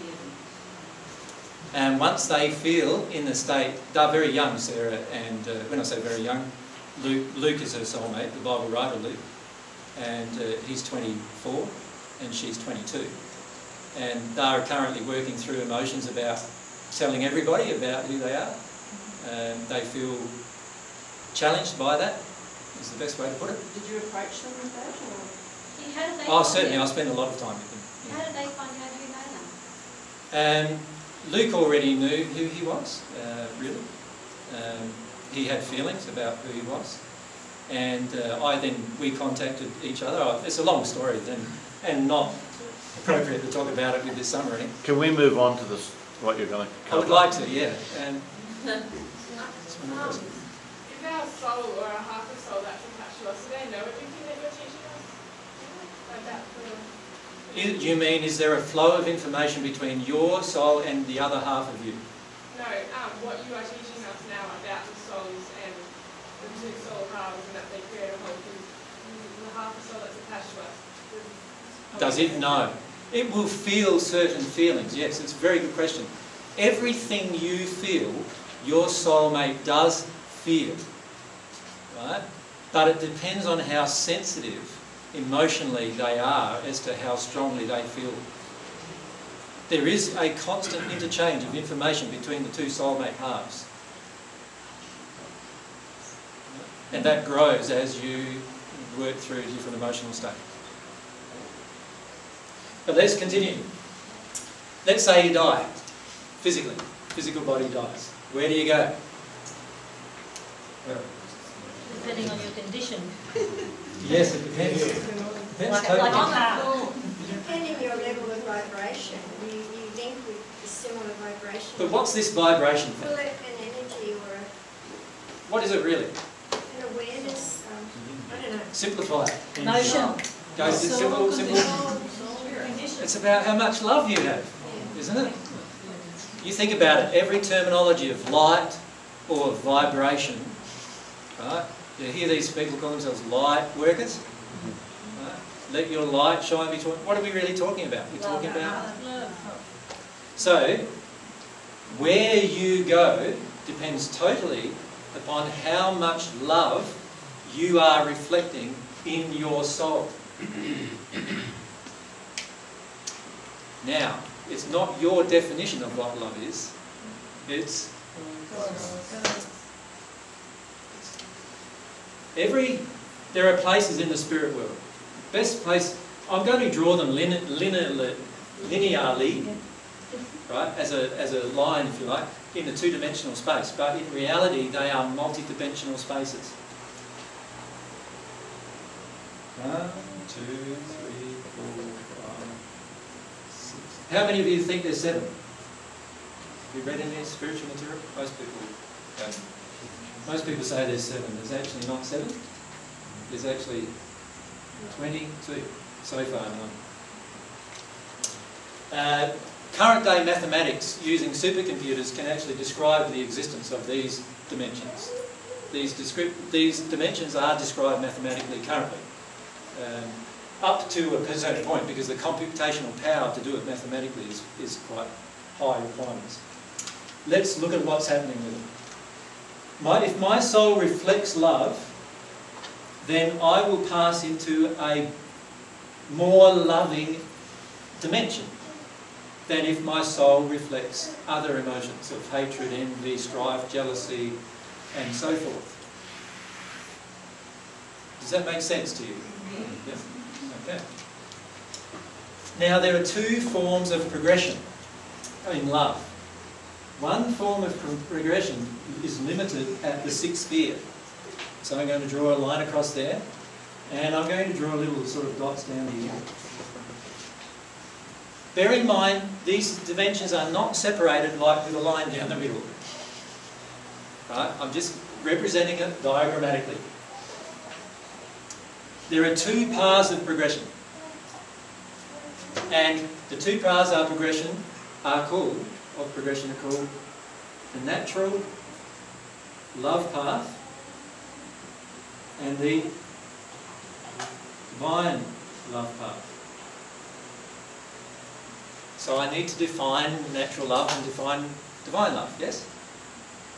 Natural love is the love that you emanate from your own soul, that is totally under your control, using your free will. Divine love is the love that God emanates from her soul and can give to you as an individual. Do you see the difference? One of these types of love is coming from within yourself. The other type of love is coming from God. You can develop, if you develop in divine love, you will automatically have to develop in natural love as well. So the divine love path, if we can call it that, encompasses the natural love path of progression as well. Now, if you decide to be self-reliant,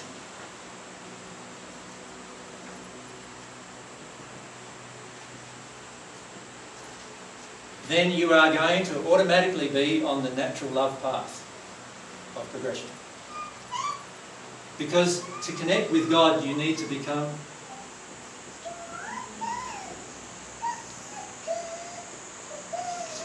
God reliant. If you are very intellectual and deny your emotions, you will remain on the natural path. If you decide to become emotional and focus on your emotions, you have a better chance of being on the divine love path. If you decide that you are God, you will be on the natural love path. Can you see why? How can you feel an emotion of love from a being external to yourself when you think you're that being? Can't, can you really? On this path you will say, I am God's child. So therefore we are all brothers and sisters. Okay. Can you start seeing a picture of what the two paths are of development? This, both paths involve the dirty word nowadays called morals. Yes, God does have morals that are in harmony with her love. And you will feel them at some point in your development.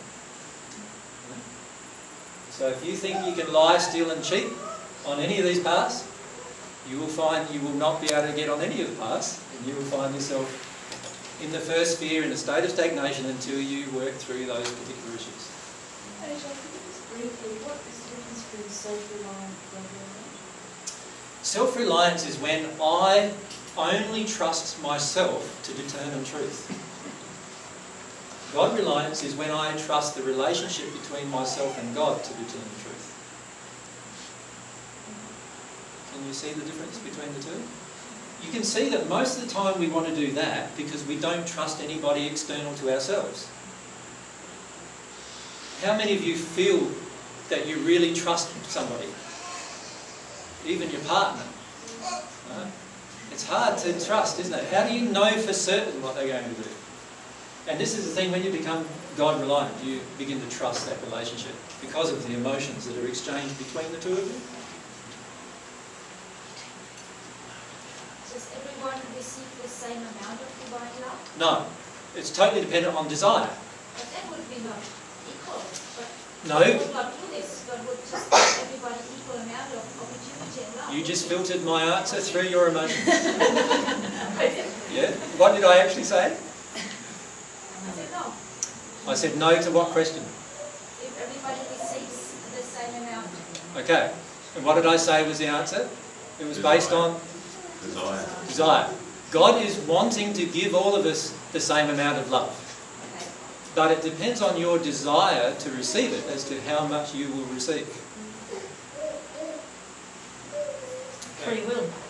Because of your free will. God is not going to force you to receive more than you want. To do that would be breaking God's own laws, and she will never do that. She never breaks her own laws. Okay? Alright.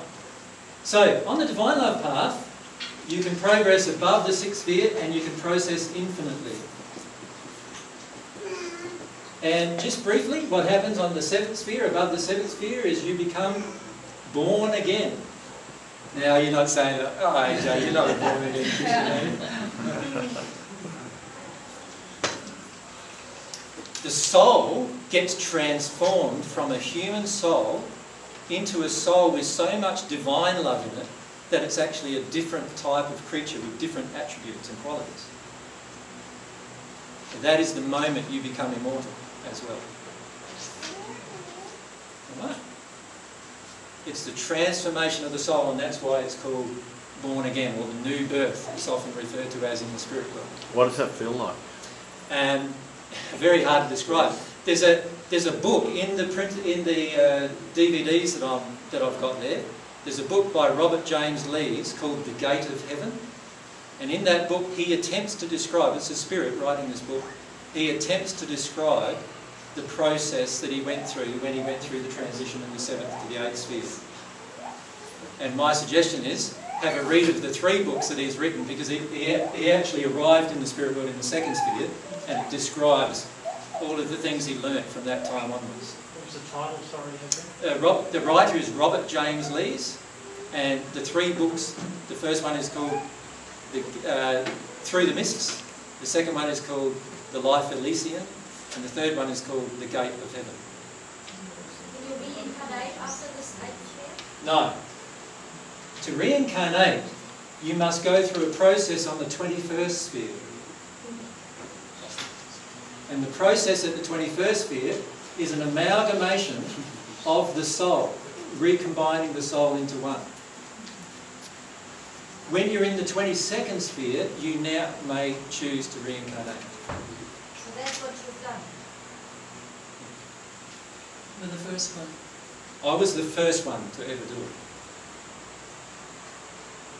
So the, the spirits in the spirit world know that you've done this? Yes. In the celestial spheres, yes. And what's their response? What do you mean, what is their response? They would be happy, wouldn't they not? I'm allowed to make my own choices, aren't I? What's the, what are you getting at? Well, I mean, are are they are they curious about your experiences, or, Oh, or do they sure. do they want to learn from you, or Um, it depends what spirits you're talking to. Like, there are spirits in the sixth sphere who believe they can reincarnate without going through this process. And those particular spirits will never reincarnate as a result, while they hold on to those beliefs. And I don't need to reincarnate.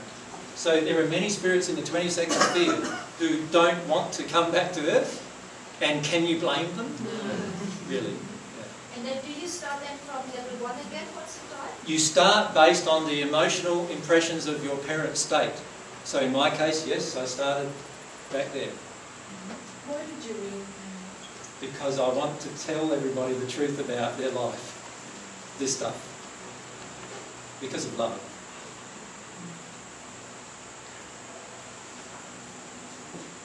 Is this the same as what you were saying before? Yes, I didn't know about the 21st sphere and the soul union back then. So I didn't teach the soul union. I did know about soulmates, but I didn't know about the soul union. I'll just add a question there. Um, there's books by James Padgett where Jesus um, channeled in 1914 to 1924, which are probably on that other. They're all on the CDs And too. that there um, explains that he tried to teach the teachings to uh, us on earth through those books and the channelings in 1914, Yeah. But it didn't uh, go like a fire through the earth, so So quite a number who have returned wrote the messages that you can read that were written in 1914. And they're, they're all on the CDs too, if you want. mm, amazing. So the soul needs to go through this soul union process. So I'll just write that down. That's what spirits call it, that sphere, the soul union process. Right? And it's the soul union process that allows the soul to recombine into one. And once the soul has recombined into one, then it has lots of choices available to it, far more than the half of the soul has. The half of the soul needs a body to have sensory input.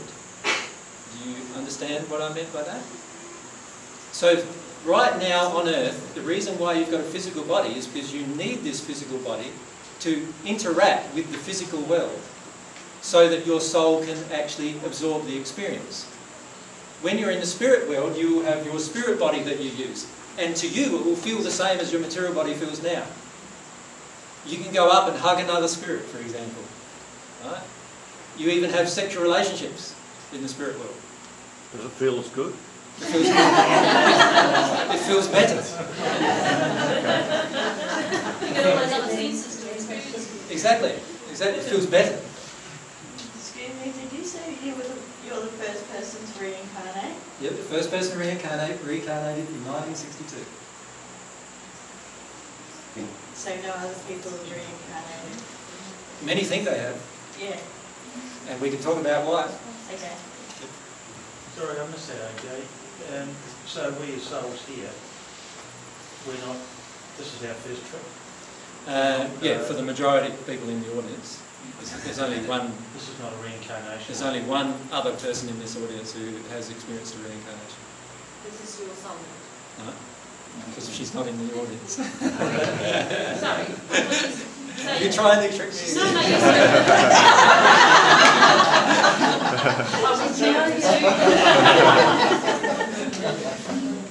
You mentioned Luke and Sarah have reincarnated, Yeah, they're on. They're in Canada.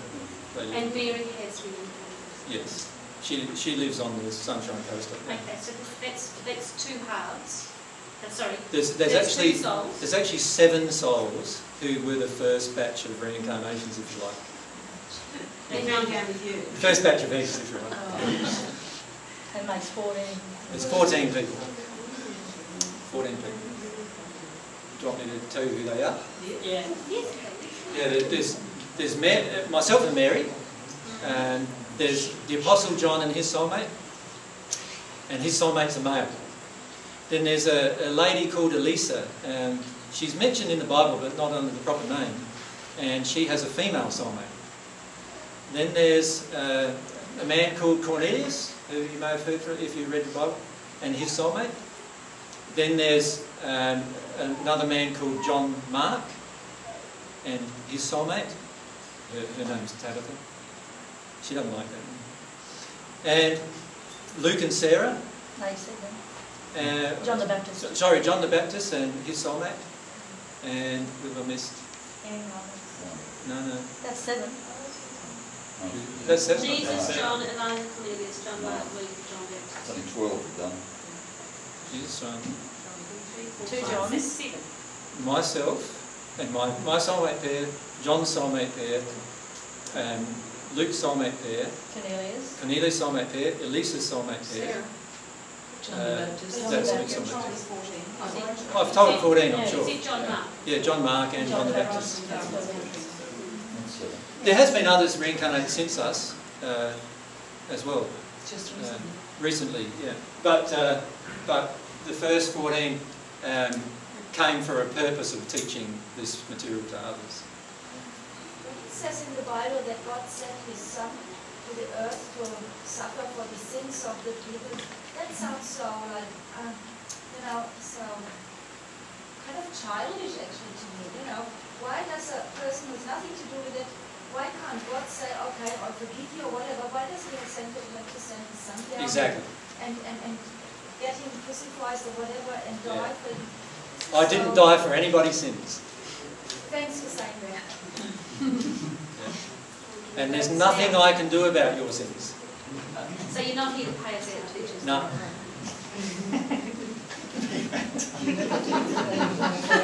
Not here to pay you back, either.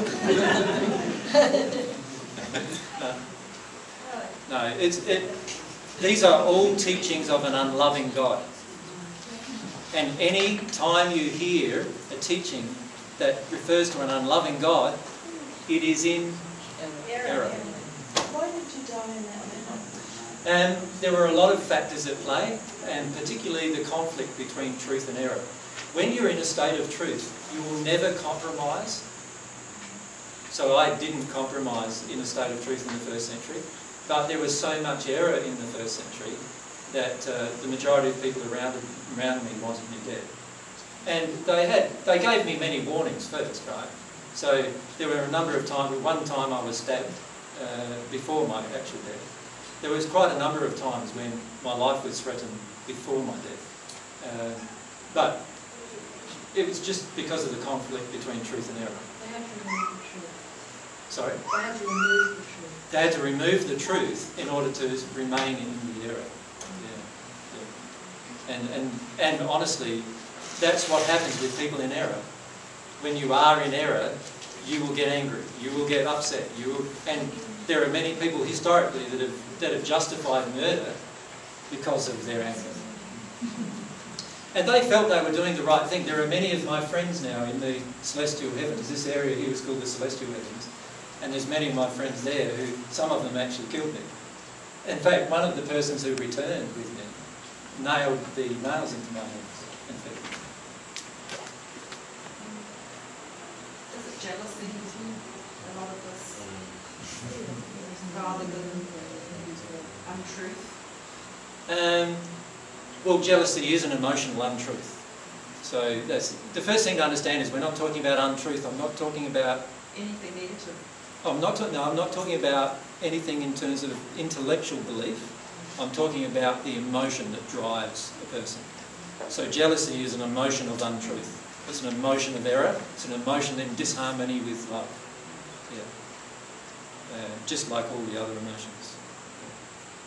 Well, that's a very, very basic summary of the process of incarnation in your own growth of soul and so obviously it opens a big can of worms in the sense that there's lots and lots and lots of questions that you probably want to ask, right? And obviously we're not going to have the time to answer them all.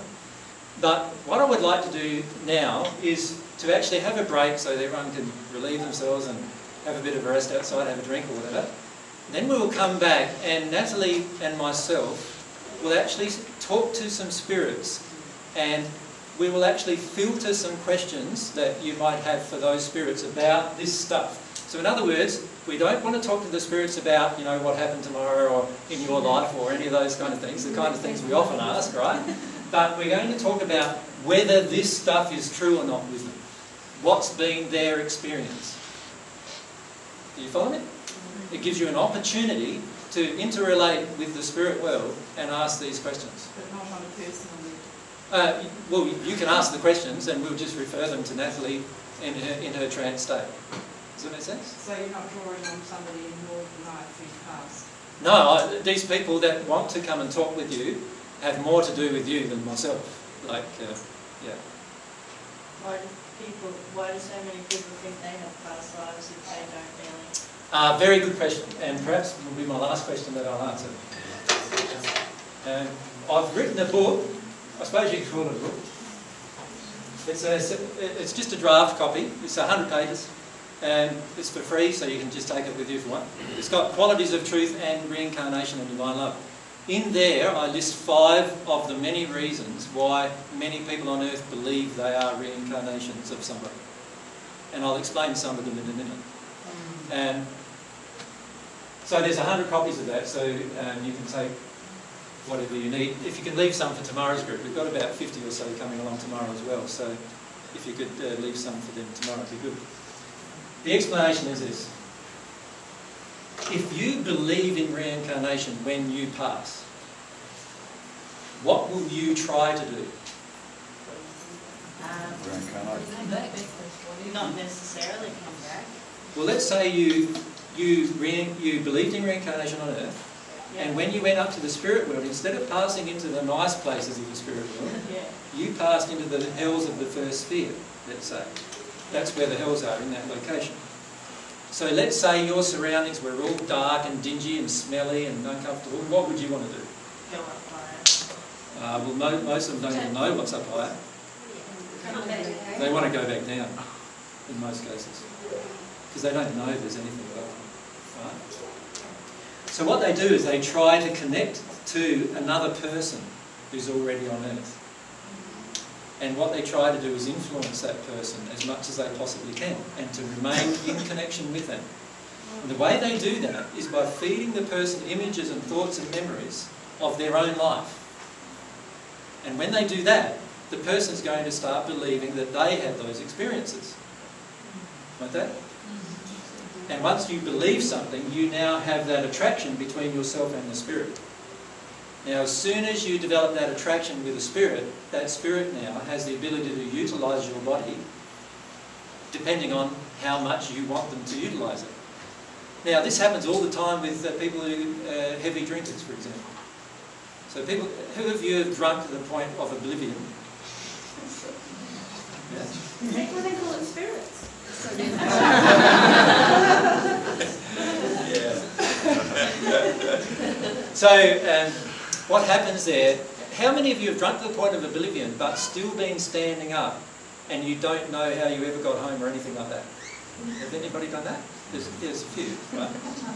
What's actually happened is a spirit has connected with you and kept you drinking and kept you awake and kept you alive and kept and drove you home for you. Ah, so that's why you do stuff that you don't normally do when you're drunk. That is exactly right. Because you have a stronger connection with the spirit who's, who's the reason why the spirit wants it is there's no drink in the spirit world, right? Sorry to disappoint all of you if you thought there is no. And so what will you want if you really badly want to drink? You are going to want to get drink from earth because you know that's where you can get it. Now, this is just one of the explanations that I've explained in, in the, book about why people believe in reincarnation. There are actually people on the natural love path in the sixth sphere who believe in reincarnation as well. And uh, the reason why is they had a long life of being taught it all the way through their earth life. And they know that it's a fact as well, because they know that since 1962 somebody has done it. So you add those two things together, and so they believe in it very strongly. And you can see historically even that since the 60s, reincarnation has become a predominant Western teaching. Only since the 60s. Can you see that? Before then, it was predominantly an Eastern teaching. That's your fault, don't you? Yeah, I- I suppose you could blame that. But it's only since the 60s that that has occurred. Well, you, um, Sorry? how do you know that for sure, but how do you know that nobody before, um, when we started, uh, counting the years like two thousand years ago, um, I mean, Adam and Eve and whatever, that all the time before that, people. Because I was the first, my soulmate pair was the first pair to enter the 22nd sphere to make it possible. But they, the others had much more time to do this. Uh, yes, but they had not received divine love. It's only possible with divine love. It's only possible with the connection with God. There, weren't lots of very, uh, good people and, and, and they have received like Moses or Noah or whoever that was. Certainly, um, certainly. They were on a certain level already at that place. Certainly, but they had not received divine love. Receiving divine love was only possible after I'd received it. I know this is going to be very hard for you to, to take, take in, but it's the truth of what happened. Um, in the first century, I was the first person to receive divine love that had ever received divine love on this earth. There's other earths where other people had received divine love. But on this earth, I was the first person to receive it. Somebody's got to be first, right? What about Buddha? Buddha is now in the sixth sphere. Muhammad is in the sixth sphere as well. Uh, all in the sixth sphere. Uh, Gandhi, you've heard of Gandhi? Know Gandhi? Gandhi's in the celestial spheres. Who else do you want to ask about? Mother Teresa is in the fifth sphere. How do we know this when you're here? Well, you can talk to your spirit friends whenever you like, right? You can find out these things, and you can also. Every one of you spend your life in the sleep state in the spirit world. You just don't remember it. Do you know who Nelson Mandela might be? Where he may have been or is, In which sphere? in terms of his condition now. You- Uh, isn't his lifetime of helping? Has he passed recently, is he? Oh, I'm sorry, I think it was only those, oh, I beg your pardon. I'm not going to comment about, Oh, I think- about where everyone is in their awake state. Does God have a desire for us as souls? Yes. God has a desire to, to, for you to experience her love. And, and her desire is, one thing you will come to realise is her desire is so powerful that it will constantly overwhelm you on the path of divine progression. Right? The desire that God has for you is burning within her constantly. Um, if you have been described as the Son of God, does that just make us all children of God? We are all sons and All- daughters of All God. the same, not Yes. you, not just something different, Well, only in your progression. Well, in the first century, the reason why I described myself as the Son of God was because I was the first child of God to actually become a son at the soul level. Do you understand what I mean by that? The soul level, becoming a son of God at the soul level means receiving divine love to the point of being born again as a child. Born again not as a physical child, but as a child at the soul level in your relationship with God. Every one of you can go through this process. You will experience some amazing experiences if you choose to. Right? And, and that process of being born again makes you a true son of God or daughter of God. Up until then, you are a child of God at the soul level in the sense that God created you, but you are unaware of the relationship.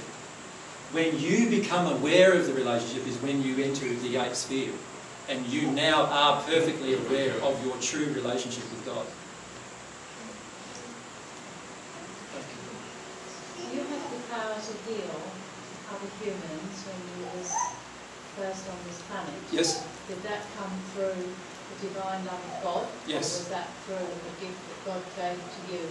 No, all, all of the things I have ever done have all been the result of the divine love flowing through me. It, none of it has been me. And, and honestly, all the things that you will come to do, you will find, uh, you, if you're on this path, it will all be because of your intention. On this path, you'll find that everything that comes to you will be because of that connection. It's exactly the same. If there's somebody in this room who has an ongoing um, illness, are you able to help them?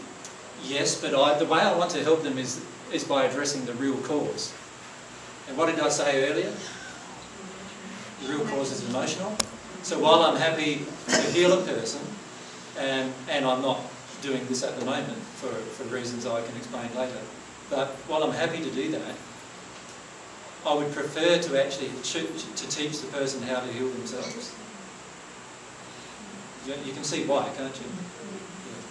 Yeah. Um, someone over here. Yeah, um, as a child, I linked very much with Jesus, and I've grown up with this intense love. And even now, I, when I meditate, I call in that energy. Is that, are you aware of that? I know it's that energy. Yeah. Now, I'm aware of everything that's going on to a degree. At the moment, I've still got certain fears within myself um, that causes me to remain unaware about, about some things. And I was just discussing them with, with a few people the other day of some of those fears that I'm working through at the moment. But I am very much aware oftentimes of people communicating with me and feeling different feelings and so forth, right the way around the world, not just, not just a few people. There will come a time in your own life actually where you will be able to feel every single person's emotion everywhere. And like in this room, you'll be able to feel every single person's emotion. You'll actually know what every cause of their emotion is. You'll know what experience created that emotion. You'll know that they're choosing either to release it or not release it. You'll know everything. I don't know at all, but sorry. Well, you can choose to do it. This is what I'm saying. It's just a choice. If you choose to do that, that's what will happen. You will have these experiences that are currently most often unknown on the earth. Can you explain or can you describe for us the experience of receiving divine love in your first incarnation? Um, it began at such a young age for me in the first incarnation that some of the initial experiences are very, very difficult for me to accurately describe. But perhaps I can describe some of them that occurred during my teenage years uh, in the first century. And what will happen is you will have a, a, a um, most of you have gone into a meditative state, yes? And in that meditative state have fe felt a feeling of lightness and so forth.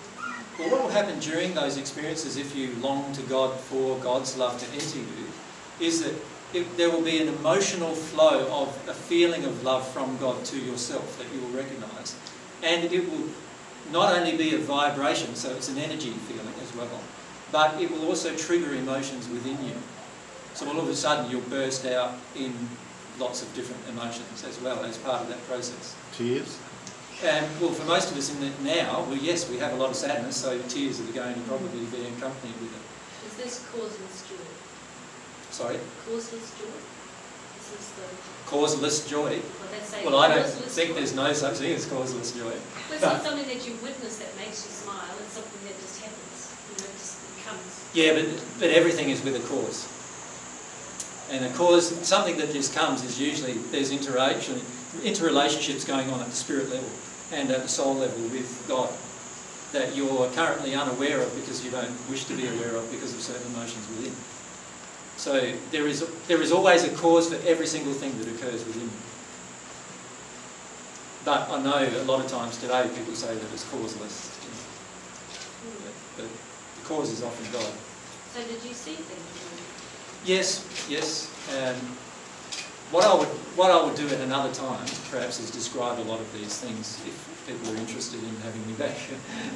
um, the the best thing I can do now is have the break because I know a lot of you are wanting the break badly, and and what we'll do is we'll leave that on the board and then involve our spirits in involve some spirits in the conversation so that you can ask some questions from them as well. You can even ask them about me if you want. You think I'm a charlatan or whatever, you can ask them whether they think I am. So perhaps we have a break uh, back at uh, 4.30.